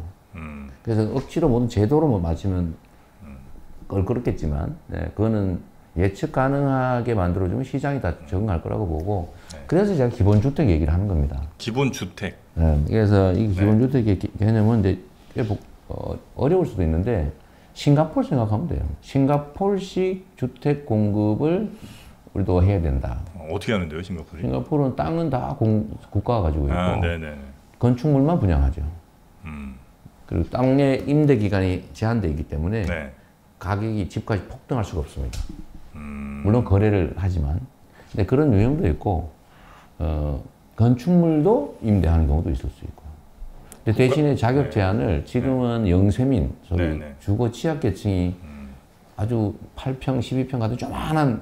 주택이 아주 외곽에 아주 그렇죠. 입지 나쁜 곳에 싼 가격으로 입주해 있잖아요. 근데 이런 거 말고 중산층도 살 수 있는 고품질의 음. 저렴한 공공주택을 최소한 20%는 공, 어, 만들어야 된다. 토지가 국가 소유여야 되는데.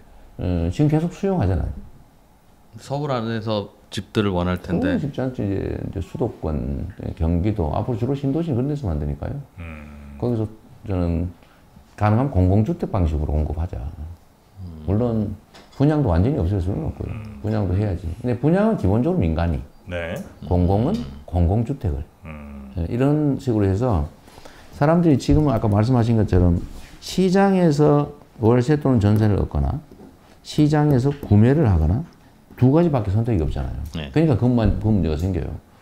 어, 전세를 얻을 수밖에 없는 사람들에게 전세를 줄 기회도 남겨놔야 음. 되지 않냐? 예. 맞는 말이죠. 문제는 이게 두, 두 가지밖에 없기 때문인데 지금 반반이잖아요, 대충. 음. 그러니까 세입자가 한 40, 한 4%? 네. 소유자가 한 50, 한, 뭐, 한몇 프로? 음. 이 정도 되거든요. 음. 근데 이게 왜 두 가지밖에 없냐? 국민들한테 선택의 여지를 하나 더 주자. 음. 한20% 정도? 이 정도를 해서 공공주택이 원하면 음. 원하는 기간만큼 살 수 있게 해주자. 충분한 면적에 충, 좋은 위치에. 음. 어, 아, 잘 아시겠지만 지금 현재 수도권의 아파트 공급 그 체계를 보면 3기 신도시든 어디든 대규모 택지를 수용을 해서 만들면 건축 건설 원가 건설 원가가 천만 원 초반대거든요. 평당 그죠? 평당, 평당. 예, 그렇거든요. 맞습니다. 예, 그래서 3억 30평 아파트 3억대에 짓는다 말이 쉽게 말하면. 음. 근데 이걸 한 5억대에 분양하잖아요. 뭐 부풀리고 막 이래 해가지고. 음. 택, 그래서 택지를 팔아서 다시 그 위에 건축을 해서 민간 건설회사 분양하는 방식인데 저는 이거 이렇게 할 필요가 없죠. 공공에서 건설회사에 건, 시공권을 준 다음에 공공이 직접 분양해도 되거든요. 근데 그렇게 되면 분양 가격이 떨어집니다.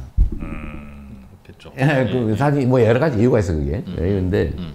천만 원대에 지어지는데 30평형을 3, 3억대에 지어서 5억대에 분양하고 이게 시중에 최소 8억에서 10억 하지 않습니까? 음. 네. 어, 그렇죠. 더하는 지금 30이 3, 4천, 평당 4천만 원 가까이 하거든. 음, 음, 10억이 넘어 지금. 음, 음. 근데 이거를 3억대에 지어가지고 왜 12억대까지 가게 방치하냐. 음. 저는 이거를 한 4억대 정도의 임, 임대를 주든지 장기 임대. 그래서 원하는 사람 여기 살다가 능력이 되면 집 사가지고 나가시라고. 대신에 음. 그 중간 기착지를 공공이 상당 정도를 책임져 주자는 거죠. 특히 사회 초년병들 이런 사람 신혼부부, 음. 청년들 이런 사람들한테 기회를 줘야죠. 음. 임대주택은 뭐 많이 늘, 려야죠 그렇죠. 어, 그런데 이제 저보고 기본주택 100만 세대 하겠다니까 그러면 한 세대 짓는데 3억 최하 2억은 들지 않냐? 그러면 200억 현금이 어디냐? 이런 소리 하던데 음. 그건 진짜 무식한 소리죠. 음. 왜냐하면 아까 얘기했지 않습니까? 30평형 짓는데 3억대밖에 안 든다니까요. 이걸 4억 정도로 임대를 해주고 거기서 월세를 이자 이상으로 받으면 그 정도 자금은 또 충분히 말해 또 짓고 충분히 계속 부채 없이 지을 수 있죠. 음. 소셜 믹스라는 얘기를 우리가 네. 하잖아요. 그래서 일부 이제 요지의 아파트들 중에도 보면 임대 아파트를 우리가 의무적으로 져야 되는데 음. 그 형태나 색깔마저도 다르게 짓는 케이스들이 나오고 네. 그런데 이제 예를 들면 에, 사람은 기본적으로 좋은 집에서 좋은 지역에서 살고 싶은 욕구가 있어서 그렇죠. 사실 네. 집값이 음. 오르는 가장 근본적인 네. 요인이기도 하지 않습니까? 음. 근데 그런 에, 지금 후보님이 말씀하신 그런 지역을 만들어 버리면 혹시라도 에, 슬럼화가 된다든지 아, 네. 그런 우려. 그래서 음. 어떻게 그러면 에, 그런 좋은 주택에서 살고자 음. 하는 또 그 자산 가치가 올라가면서 내가 향유해야 될 음. 어떤 그런 것도 음. 내가 중요하게 생각하는 사람들하고 어떻게 이렇게 섞여서 살 수 있게 하는가 이게 음. 되게 중요한 것 같아요. 그렇죠. 지금은 이게 너무 이게 뭐랄까 규격적이라고 그럴까? 음. 그러니까 분양 아니면 임대. 예. 또 임대도 민간은 그 뭐 역세권이 꽤 괜찮은 음. 뭐그 넓은 평수의 아파트를 임대하지만 음. 공공 임대는 저 그러니까. 구석에 네. 영세민이 사는 일종의 옛날로 치면 향소 부곡 느낌을 주잖아요. 질도 굉장히 네, 낮고 음. 또 그런 뭐 취약계층만 사니까 음. 보통 사람 안 살려고 그러고. 근데 이거를 이렇게 저는 다양화할 필요가 있다고 보는 거예요. 음. 그러니까 한 군데 반드시 그 건축물까지 임대한 영세민 취약계층만 사는 지역으로 만들면 안 되고 그, 그건 정말 옳지 않죠. 여기 분양받은 사람도 있고 넓은 평수도 있고 또 저 건축물만 분양받는 경우도 있고 음. 또 건축물까지 임대를 하는 중산층용 임대도 있고 음. 또 취약계층용 작은 평수도 있고 임대료를 차등을 두면 되거든요. 음. 뭐 소득 수준에 따라서 음. 공공이 사는 거니까 예, 그다음에 아까 말씀하신 것처럼 예를 들면 청년 주택이나 1인 가구들을 위한 뭐 일종의 사회 주택들도 같이 배치하고 음. 그래서 뭐 주방이나 이런 거 같이 쓰고 도서관 뭐 이런 거 같이 쓰면서 방을 따고 또 아니 원하면 또 다른 데 옮길 수 있게 해주면 돼. 거기서 평생 살라는 얘기가 아니니까. 음. 그래서 좀 다양화할 필요가 있고 그렇게 하면 여기서 돈을 아껴서 낮은 주거비로 집값을 모아서 민간 주택을 사거나 아니면 공공주택 분양할 때 분양 기회를 뭐 행사하면 되니까요. 음. 좀 다양화할 필요가 있다는 거죠. 그러니까 총 주택 수가 수요에 비해서 그러니까 이 가구 수 대비 주택 수가 많거나 뭐 비슷하거나 한데도 자꾸 집이 부족하다고 하는 이유는 음. 대표님 말씀처럼 원하는 주택 유형이 없어서 그렇거든요. 네. 근데 그거는 공급의 다양성을 통해서 어느 정도는 해소할 수 있다고 봐요. 그 인간의 욕망이라는 게 사실 그 어, 겉으로는 그렇게 얘기 안 하더라도 속으로는 어, 조금 못 사는 사람들이랑 같이 안 살고 싶고 그냥 좀 불편한 얘기일 수 그렇죠. 있겠습니다만 그런 게 있을 수 있잖아요. 그리고 그럼요. 실제로 있잖아요. 아 그럼요. 예, 그래서 난 어, 쟤네 뭐너 30평이냐 나 40평이냐 그런 예, 거잖아요. 그리고 뭐 놀이터도 같이 안 쓰고 싶은 그 욕망 그거에 반하는 것들을 어, 정부가 이렇게 한다고 해서 그게 우리의 그림대로 갈 것이냐. 결국 또 다른 방식으로 뭔가 또 성벽 쌓고 이러, 이렇게 그거는 가지, 네. 민간 영역에서 하시라고 놔둬야죠. 음. 공공영 공공 영역은 그 그런 욕망들을 최소한 절제시키는 게 공공이 할 일이고요. 네네. 그 편을 먹어서 그런 식으로 하면 약육강식 밀림사하게 되지 않습니까? 음, 음. 근데 거기를 벗어나고 싶은 사람은 벗어날 능력이 돼서 벗어나게 해주면 되죠. 음. 그건, 그거는 민간 자유의 영역. 그러나 네네. 출발지 자체는 네. 그런 기회조차도 못 얻는 사람이 너무 많으니까 음. 편을 가리기는 그냥 아예 아, 무 쪽도 못 들어가는 사람들 있지 않습니까? 음. 그 사람들한테는 하여튼 들어갈 수 있는 기회는 줘야죠. 네네. 이게 소위 기본 주택이라고 하는 게 아. 최소한 주거 공간은 최소한 확보해 줘야 된다. 음. 그래서 앞, 지금까지는 우리가 약간 뭐 좀 좀딴 얘기 같긴 합니다만 네. 우리가 시민권이라고 하는 거, 소위 정치적 자유를 위해서 싸우고 그 다음에 소위 사회권, 음. 예, 최소한의 인간다운 삶을 위해서 싸우고 음. 이게 어느 정도 해결이 돼가잖아요. 음. 그래서 저는 그 다음 단계가 음. 경제적 기본권이라고 봐요. 최소한의 풍요를 함께 누릴 권리. 그거는 뭐 주거, 생활, 임금, 직장, 뭐 보육 등등 다 합쳐서. 네. 그래서 최소한의 죽지 않을 만큼의 것을 보호하는 게 사회권이라고 음. 한다면 네. 그건 어느 정도 됐다. 음. 예, 그다 그러나 이제 최소한의 풍요를 함께 누리는 어지간히는 살수 있게 한다. 네, 최소한의 음. 기본적인 것을. 네. 그래서 제가 경제적 기본권, 기본소득, 기본주택, 기본금융 이런 얘기를 한 이유가 사실 그거죠. 그래서 그렇게 네. 하시려면 이제 재정이 많이 필요하실 겁니다. 기본주택은 별로 재정이 들지 않아요. 그러니까 지금 말씀하신 그 음. 기본 시리즈를 다 하시려면 그렇죠. 그뭐 네. 우리가 앞으로 가야 될 길이죠. 그래서 이제 지금도 이제 확장적 재정 정책을 하자고 말씀하시고 네. 계시고 그러려면 이제 우리 정부의 어떤 재정이 어떻게 될 거냐 이 얘기를 할 수밖에 음. 없고 그래서 이제 혹 증세를 해야 되지 않을까 이렇게 생각하는 분들도 많죠. 음, 근데 증세는 사실은 뭐 정권을 유지하는 입장에서는 자폭행이고요. 어, 제가 그걸 모르는 바는 아닌데. 네. 어, 그런데 예를 들면 서구 선진국들은 증세에 대해 저항이 별로 없어요. 음. 왜냐하면 세금을 올리는 게 나한테 이익이라는 확고한 시, 그 믿음이 있어서 그렇습니다.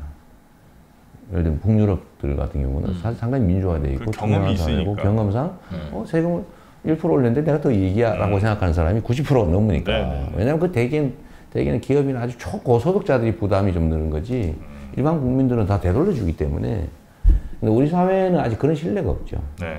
예, 그래서 그래서 저는 그 기본소득은 종류가 여러 가지가 있는데 아동수당은 기본소득이고 음. 네.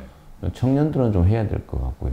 음, 근데 그거 말고 전 국민 보편 기본소득을 위해서는 결국은 당연히 받아서 나눠야 되는데 이거는 국민적 합의를 거칠 필요가 있다. 설득해서 동의할 때 한다. 뭐 그런 생각이 있지. 음. 근데 우리는 서구 선진국에 비해서 복지 지출이 절반을 조금 넘는 수준이다. 어, 60% 선이죠. 네. GDP 대비 우리는 11% 선인데 평균 OECD 평균이 20%, 21%거든요. 음. 60%밖에 안 돼서 음. 사실 늘리긴 해야 되는데 선별 복지를 늘리는 방식으로 일, 국민들의 조세 부담을 장기적으로 늘려갈 수 있겠냐. 음. 아, 세금 내는 사람하고 혜택 받는 음. 사람이 다르면 음. 불가능하거든요. 네.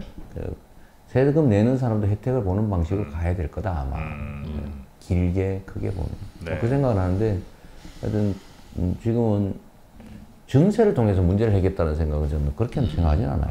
그거는 지금 매우 무책임하고 잘못하면 국민적 저항 때문에 실제 아무것도 못하는 상황이 벌어질 수 있습니다. 그 말씀해주신 내용들 보니까 이제 기본 소득이랑 기본 주택이 어느 정도 포함이 된 것 같은데 또 하나의 기본 시리즈인 기본 금융이 있습니다. 네. 이건 뭡니까 기본 금융? 음, 이제 이 부분은 우리 시청하시는 분들 쉽게 이해하실 것 같은데 네. 금융의 원천은 국가 권력이고 신뢰잖아요. 아까 잠깐 말씀드렸는데 요즘은 전에는 금이 그 교환 가치를 보장했다면 음. 금을 전제로 만든 종이 종이 쪼가리 금 교환권 이게 음. 이제 집회했는데 네. 이제는 금도 없지 않습니까? 국가 권력 자체죠. 음. 국가 권력이 예, 보장하죠. 근데 이제는 화폐라고 하는 종이 쪼가리 실물도 없이 이제 숫자에 불과한 사회로 가고 있어요. 음. 그렇잖아요, 전부 다. 통장에 숫자야 그냥. 통장에 없어도 돼 그냥 숫자야 그냥.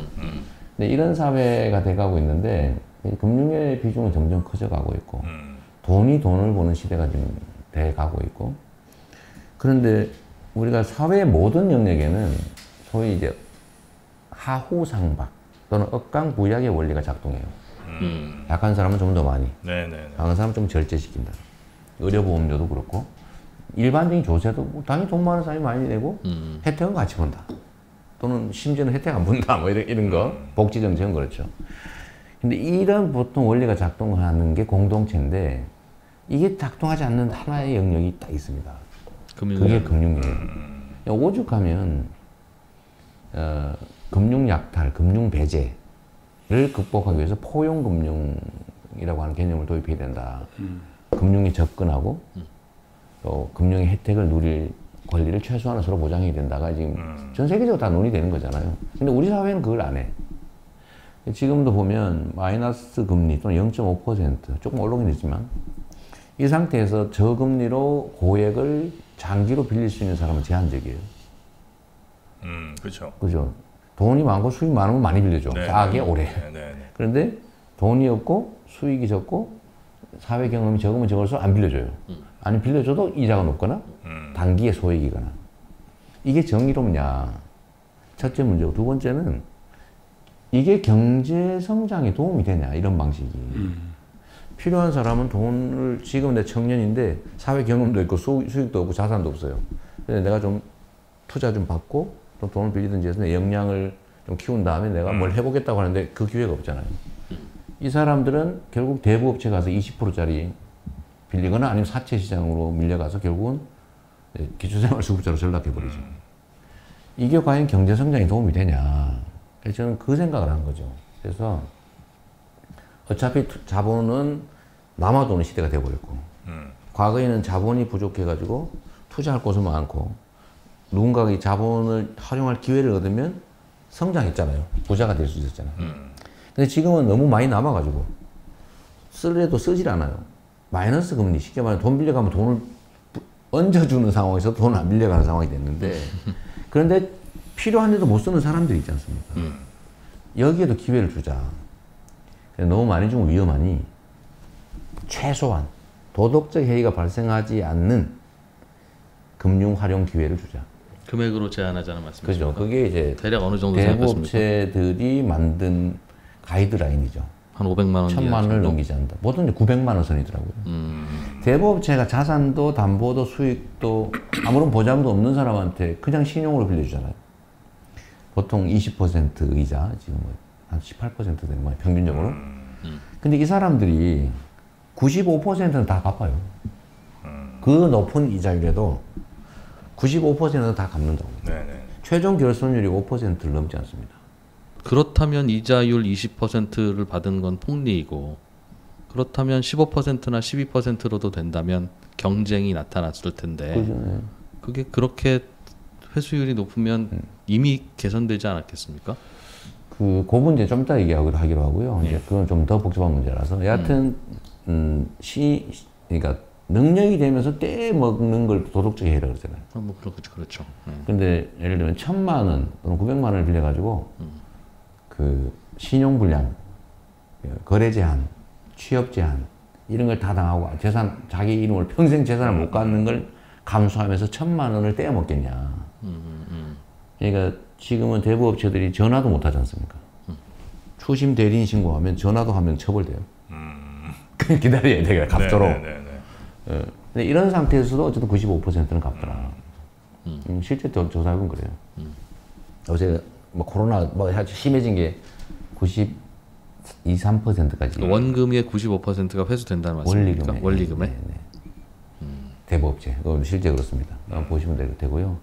하여튼 그런데 그 사람들이 이자율이 3%짜리를 천만 원 정도 빌려주면 훨씬 더 잘 갚지 않겠어요? 물론이죠. 엄청난. 근데 그 기회가 봉쇄돼 있다는 거죠. 최소한 그 기회는 주자. 대부업체들은 요즘 20%로 내린 다음에 시장에서 철수하고 있습니다. 물론 예, 저는 철수하는 게 바람직하다고 봐요. 그러니까 그 말은 장사가 20% 받아서는 안 된다는 뜻이고 회수가 안 된다는 음. 뜻인데 후보님이 갖고 계신 데이터와 왜 충돌할까요? 음, 그러니까 그거는 별도의 얘기를 좀 한번 하고요. 네. 기본 금융은 그래서 네. 국가 권력에서 발생하는 신용 이익을 국민 모두가 최소한은 누리게 해주자라는 음. 거고요. 음. 저희가 이제 경기도에서 청년들한테 20만 명에게 매년 음, 음, 500만 원씩 빌려주면 1조 원이잖아요. 매년. 네. 그럼 그 10년간 빌려줄 텐데 계속 누적되지 않겠습니까? 음. 그래서 금융기관들한테 저희 물어봤어요. 얼마 어, 지원해주면 됩니까? 그랬더니 200억, 2%면 된다. 그 1조 원 대출에 대해서. 특히 청년들이기 때문에. 그 최대치로 얼마면 됩니까? 5%래요. 그래서 음. 우리가 500억을 적립하고 음. 적립해줘야지. 왜냐면 그 경기도에서 네. 네. 경기도 청년 200만 20만 명에게 매년 대출을 1조 원을 대출해주는 3% 정도로. 네. 네. 이걸 내년부터 시행을 합니다. 제가 그건 다 만들어놓고 나왔죠. 네, 네. 올해 예산 다 만들어놓고 나왔는데 어, 금융기관 다섯 군데가 경합이 들어왔어요. 자기들이 하겠다고. 부모님이 하시니까 그런 거 아닌가요?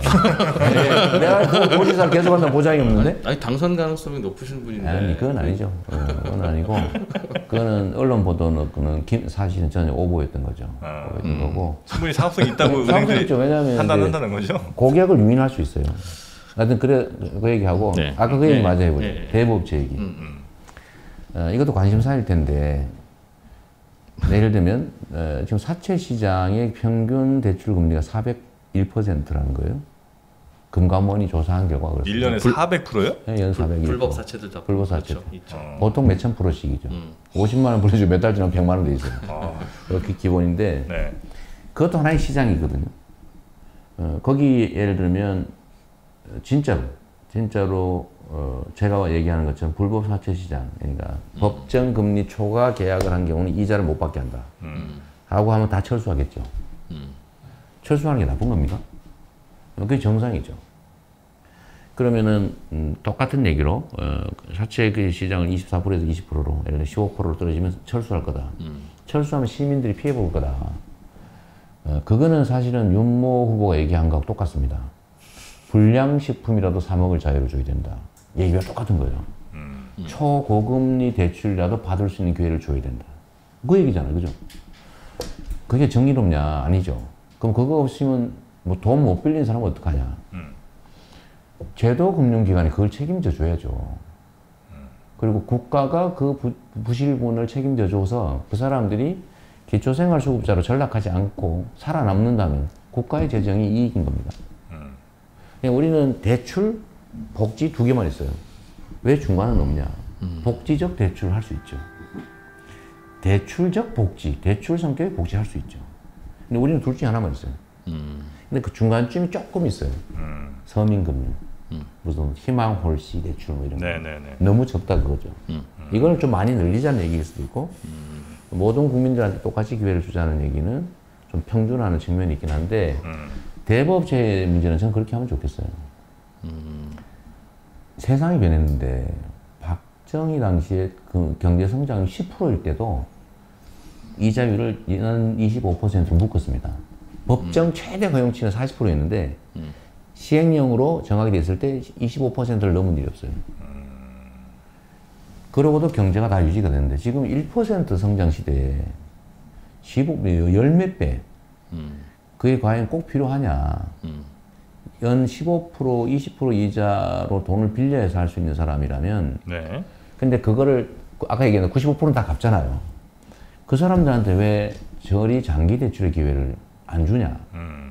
금융 영역에서 음. 그 주면 훨씬 더 잘 갚고 더 회생 잘할 거고. 네.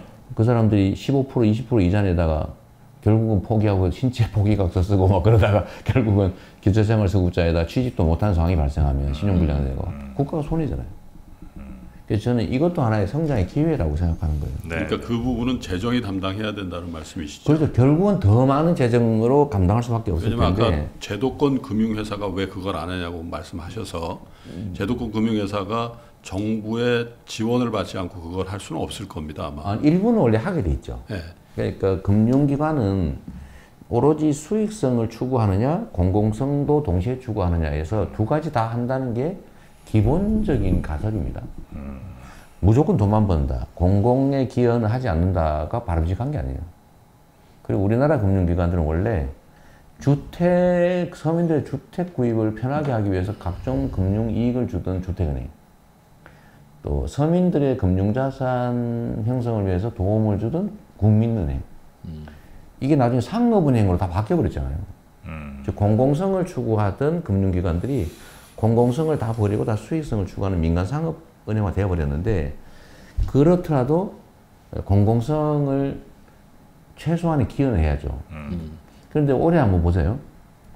제가 보니까 작년에 코로나19 때문에 해외 금융기관들은 영업이익률이 보통 10몇 퍼센트대로 줄었는데 음. 우리나라만 오히려 폭증했어요. 영업이익률이. 공익 기능을 하지 않았기 때문에 그렇습니다. 그런데 왜 그 해외 금융회사는 한국을 떠나겠습니까? 음, 뭐 그거는 뭐 여러 가지 사정들이 네. 있겠죠. 네. 어, 그러나 어쨌든 분명한 거는 우리나라는 금융기관들이 공익 기능을 좀 적게 해서 음. 어, 영업이익이 폭증했다는 건 객관적인 사실이고 제가 그래서 금융기관들이 이걸 맡으라는 뜻은 아니에요. 음. 그건 재정이 맞는다. 네. 아까 얘기했지 않습니까? 국민들한테 경기도 청년 20만 명에게 1조 원의 기본금융 혜택을 주는 음. 대, 대신에 재정이 담당하는 200억이라고 최대 500억. 음. 500억으로 20만 명 혜택을 본다. 네. 그 중에서 몇 명만 신용불량 안 되고 그 돈으로 하다못해 뭐라도 좀 공부라도 더 하고 경험이라도 쌓아서 성공했다면 음. 결국 500억 원치 훨씬 더 되죠. 제가 대부업체 단속을 했거든요. 대부업체 언제요? 불, 법 제가 임기 내내 한 겁니다. 성남에 있을 때. 아, 단속 많이 했습니다. 경기도에는 대부업체 그 돈 빌려드립니다. 쪽지가 없어요. 음. 아 그래요? 네. 어, 자세히 보세요. 아 그럼 바로 신고입니까? 바로 신고할 뿐만 아니라 신고를 하, 는 직원도 시... 따로 뽑아놨어요. 아 뿌리고 다니면 신고가 들어오면 네. 그 미스터리 쇼핑조 그 함정 유인 단속조가 있어가지고 네. 돈 빌려 달라고 한 다음에 아. 돈 빌리는 현장을 잡아가지고 아. 압수수색해요. 싹 뒤져가지고 저희가 과다 지급된 이자 다 계산해서 없애주고 하니까 경기도에서는 아예 안 해요. 음. 아 그래요? 네, 한번 보시면 압니다. 네. 강남에는 많습니다. 이렇게 뭐 먼저 일수 음. 빌려드리는 네, 네, 네, 경기도에는 없습니다. 어... 요즘 제가 인터넷 단속하고 있어요. 왜냐면 인터넷은 경기도민도 쓰니까. 아. 네, 어쨌든 그런데 네. 이걸 하다 보니까 어떤 문제가 생기냐면 누가 항의를 하더라고요. 아니 나는 연 2,000%든 3,000%든 당장 아, 써야 되는데. 되는데 그거 막으면 어떡하냐. 그래서 제가 단속을 해야 되겠고 그걸 보완하는 장치는 없어서 그러면은 50만 원은 원하는 사람은 다 빌려주겠다. 50만 원이요? 응. 50만 원. 정부 재정으로? 뭐, 네, 경기도 예산으로. 음. 그래가지고 50만 원씩 빌려주는 거를 근데 50만 원 빌리려고 차 타고 버스 타고 와가지고 자기 신원 내고 네. 그할 사람이 돈 있으면 하겠어요, 안 하겠어요? 안 하겠죠. 안 하지. 그 50만 원 차라리 그 시간에 딴거 하지. 네. 근데 이 50만 원이 없어 죽는 사람도 있단 말이에요. 음. 20만 원 없어 죽은 세 가족도 있잖아요, 세 모녀. 네네네. 2만 원 때문에 아버지 부양 못 해가지고 무슨 네, 네, 네, 유기 치사로 징역 4년 받은 아들도 있는 거고. 그래서 이런 사람들을 위해서 50만 원을 빌려주겠다. 그래서 어. 제가 500억 예산을 마련해가지고 50만 원은 선착순으로 빌려주겠다. 그니 순식간에 동의 나 버린 거예요. 다 나갔어요? 네. 그러더니 또 어떤 일이 있었냐면 나 지금 아버지 뭐 저 치료비도 내야 되는데 병원비를 못 내가지고 죽게 생겼다. 300만 원만, 200만 원만 사람이 또 많아진 거예요. 음. 그 원래 복지 지출 대상이거든 그거는 그 정도면.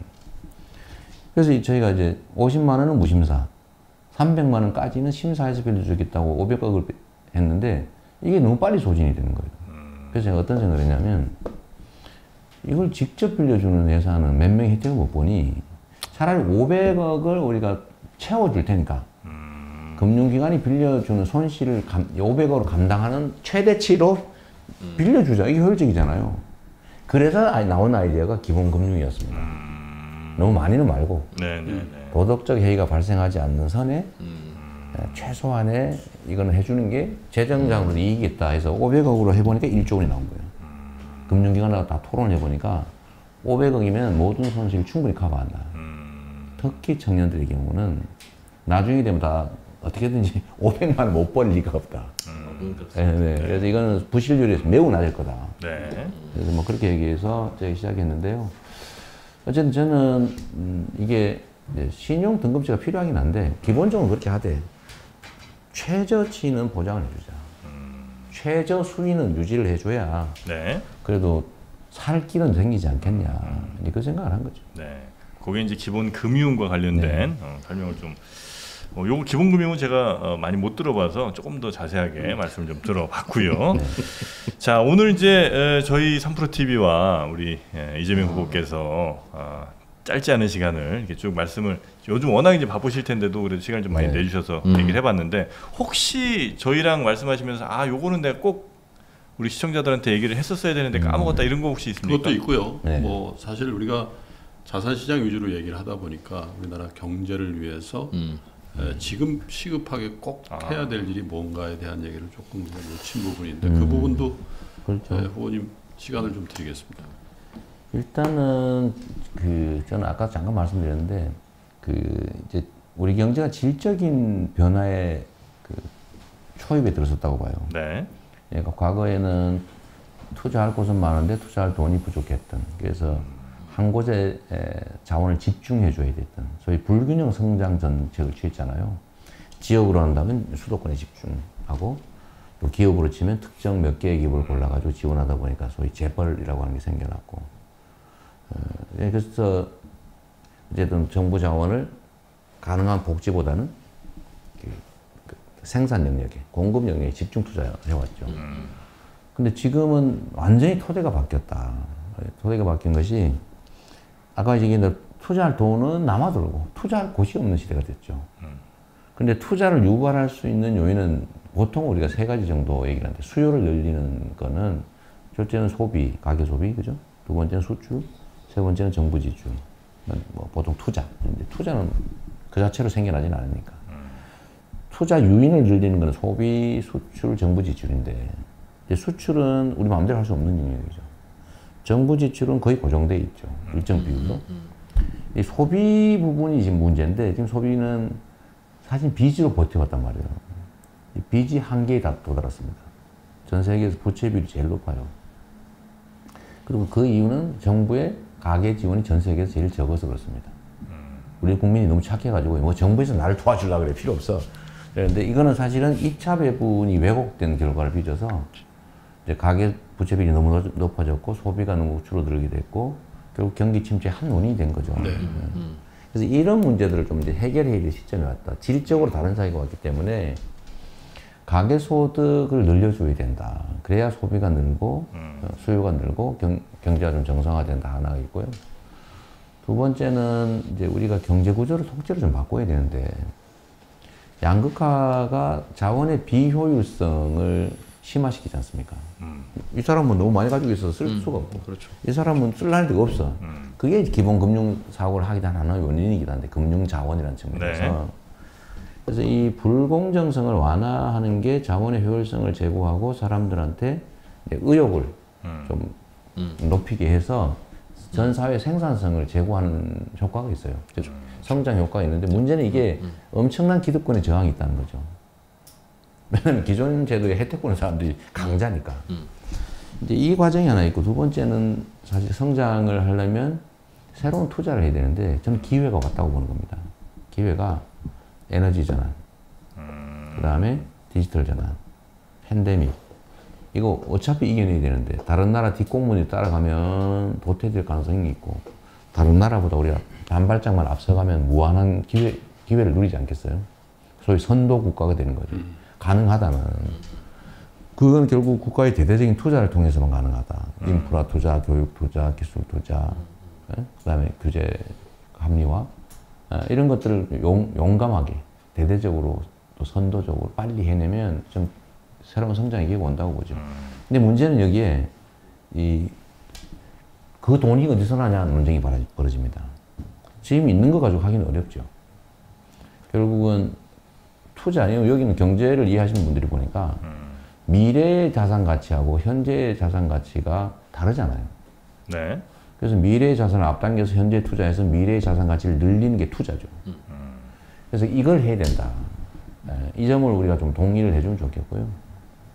그래서 경제 체질을 완전히 신속하게 바꾼다. 음. 그래서 산업 전환, 신산업 창출, 음.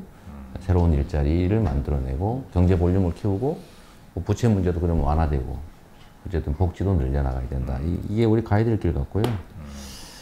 음, 또 한 가지 제가 드리고 싶은 말씀은 이제 정리 삼아 오늘 여긴 주식 방송이니까 어, 주가 지수 5천 시대라고 하는 게 불가능하지 않다. 음. 어, 그리고 저는 앞으로 여러분들한테 그 얘기를 드리고 싶어요. 부동산보다는 자본시장이 훨씬 더 가능성이 크다. 음. 어, 이거는 피할 수 없는 경로다. 네. 사실 우리가 3천 시대 올 거라고 예상 못했어요, 솔직히. 저도 주식 투자를 하고 평생 희망이었죠. 희망. 어, 희망이었지. 음. 야, 어찌, 언제 2,500 넘어가나 맨날 그 노래 불렀지. 3,000씩 넘어갈 줄 몰랐거든요. 음.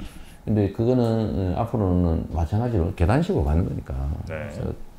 우리가 제도 정비도 좀 하고 투명성 제고도 음. 하고 또 산업 재편도 하고 결국은 리더의 철학인데 어, 여기 어, 시장이 중심을 어디다 둘 거냐.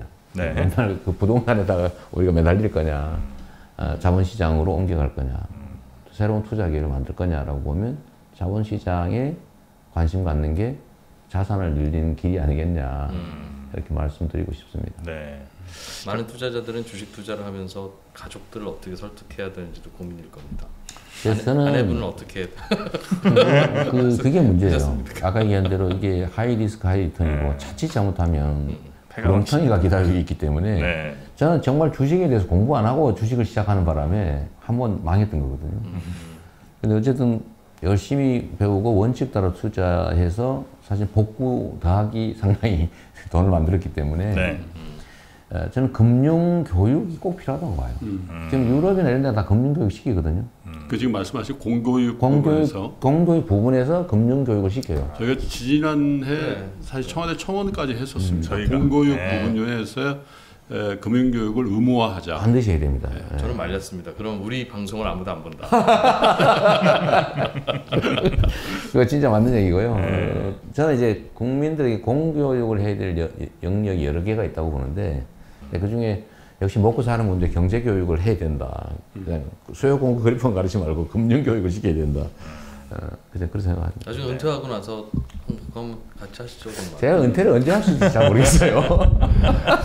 은퇴가 빠를수록 좋으신 거 아닙니까? 저는 사실은 그러니까 저는 사실은 돈을 번다는 측면에서는 좀 어쩌면 좀 끝까지 한다시길래 10년 안에 은퇴하시고 어, 저는 진짜로 투자 기회 놓치가 저는 너무 억울한데요. 네. 저는 이거 이번에 코로 그 저기 팬데믹 시작되는 시점에 전 주식 투자가 불가능해졌잖아요. 음. 이미 다 강제 매각 당했으니까, 백지 시작됐으니까.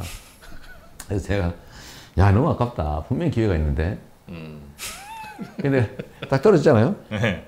그러면 이제 우리 펀드 매입은 제한이 없어요. 아 그래요? 아, 펀드, 펀드 가입하셨습니까? 안 했죠. 네. 보다가 음. 더 떨어질 줄 알고 보다가 기회를 놓쳤어요. 다시는 기회가 안 올 것 같습니다. 아, 네. 우리 하시면 네. 3프로 TV의 그 진행자로 저희가 네. 원래 원래 경제학자가 주식 투자 못 한다는 얘기도 있는데 네, 말 많이 하면은 주식 투자가 안 돼요. 네. 저는 우리 저 후보님 끝으로 어, 어느 정도 이 감이 좀 있으신지 여쭤보기 음. 위해서 이 영상이 올라가고 24시간 안에 좋아요 몇 개 정도 눌릴 거라고 보세요? 좋아요? 네. 음. 조회 수 말고 좋아요. 좋아요. 좋아요 수는 가늠이 안 되는데. 아, 조회수. 조회수는 24시간? 네. 저번에 와이스트릿은 하루 만에 한 8만인가 10만 정도 됐는데 네. 에, 하루 만에 네. 30만. 30만. 30만. 알겠습니다. 네, 저희가 한번 보고 떨었어 지금. 왜 볼로 보고 그러니? 네. 자, 우리 투자자 여러분들에게 네. 마지막으로 한번 인사 한번 해주시죠. 왜냐하면 네. 주식시장이 뭐 3조 포인트 갈 줄 몰랐다고 말씀하셨지만 그래도 힘듭니다. 사실 지금 음, 네, 그렇죠. 굉장히 힘들고 또 아까도 말씀이 있었습니다만 미국하고 비교해서 정말 이 상실감이나 또 부동산 시장하고 네. 비교해서 박탈감 음, 음. 같은 게 굉장히 네. 심한 우리 개인 투자자 여러분들에게 덕담과 네. 또 격려의 말씀 한마디 해주시죠. 네, 주식 시장은 결국 안정성이 중요하고요. 이제 수익성도 중요하고 그리고 가장 기본적으로는 경제 체질이 개선돼야 되겠죠. 어, 물론 투명성은 뭐 말할 것도 없고요. 네, 현재 저는 대한민국 주식시장이 매우 저평가되어 있다고 보여지고 뭐 저평가 원인은 지정학적 요인에다가 경제의 기본적인 체질, 또 거기다가 이제 불투명성, 불공정성 이게 뭐 복합적으로 작용하고 있다고 봅니다. 어, 지금까지는 주로 부동산 투자에 우리가 매달려 왔다면 저는 이제 그게 한계에 왔다고 보여지고 앞으로는 저는 금융시장, 자본시장, 주식시장 음, 이쪽에 우리 관심을 더 가지는 게 어, 훨씬 더 효율적일 거라는 생각이 들고요. 어, 그리고 앞으로 저는 우리 경제가 점점 더 첨단화 그때 갈수록 부동산보다는 당연히 주식시장이 더 비중이 커질 거라고 봅니다. 음. 또는 그래야 된다고 봐요. 기업들의 이제 더 쉬운 자본 조달 시장으로서 기능도 해야 되고 국민들한테 투자 기회도 새롭게 줘야 되고 음, 무엇보다도 부동산 시장보다는 주식 시장이 훨씬 더 생산적이지 않습니까? 그래서 국가 정책도 어, 그런 방향으로 전환돼야 된다고 저는 믿기 때문에 혹시 저를 믿으시면 네, 주식시장에 훨씬 더 관심을 가지시는 게 낫지 않을까 그런 생각이 듭니다. 네, 여러분들 만나 뵈서 너무 반갑고요. 네. 저도 뭐 더 많은 노력을 통해서 네. 우리 경제가 더 성장할 수 있도록 애쓰겠습니다. 음, 네. 아 또 저희가 준비한 아, 게 하나 뭐 있습니다. 주시려고 그러시죠? 저희 그 저희 회사 3프로 TV가요. 네네네. 1년에 한 번씩 이렇게 투자 다이어리를 만듭니다. 아 네네. 그래서 오늘 후보님께 음. 두 권을 준비해서 아. 그리고 에, 마켓을 항상 네. 소중하게 다뤄주시라고 아, 저희가 네, 그러네 진짜 예, 신간 있네요 미스터 네. 마켓이라는 아, 네. 책인데 저희 임직원 일동의 마음을 담아서 네네네 네, 네. 아 재밌네요 네. 그 16,000원입니다. 네.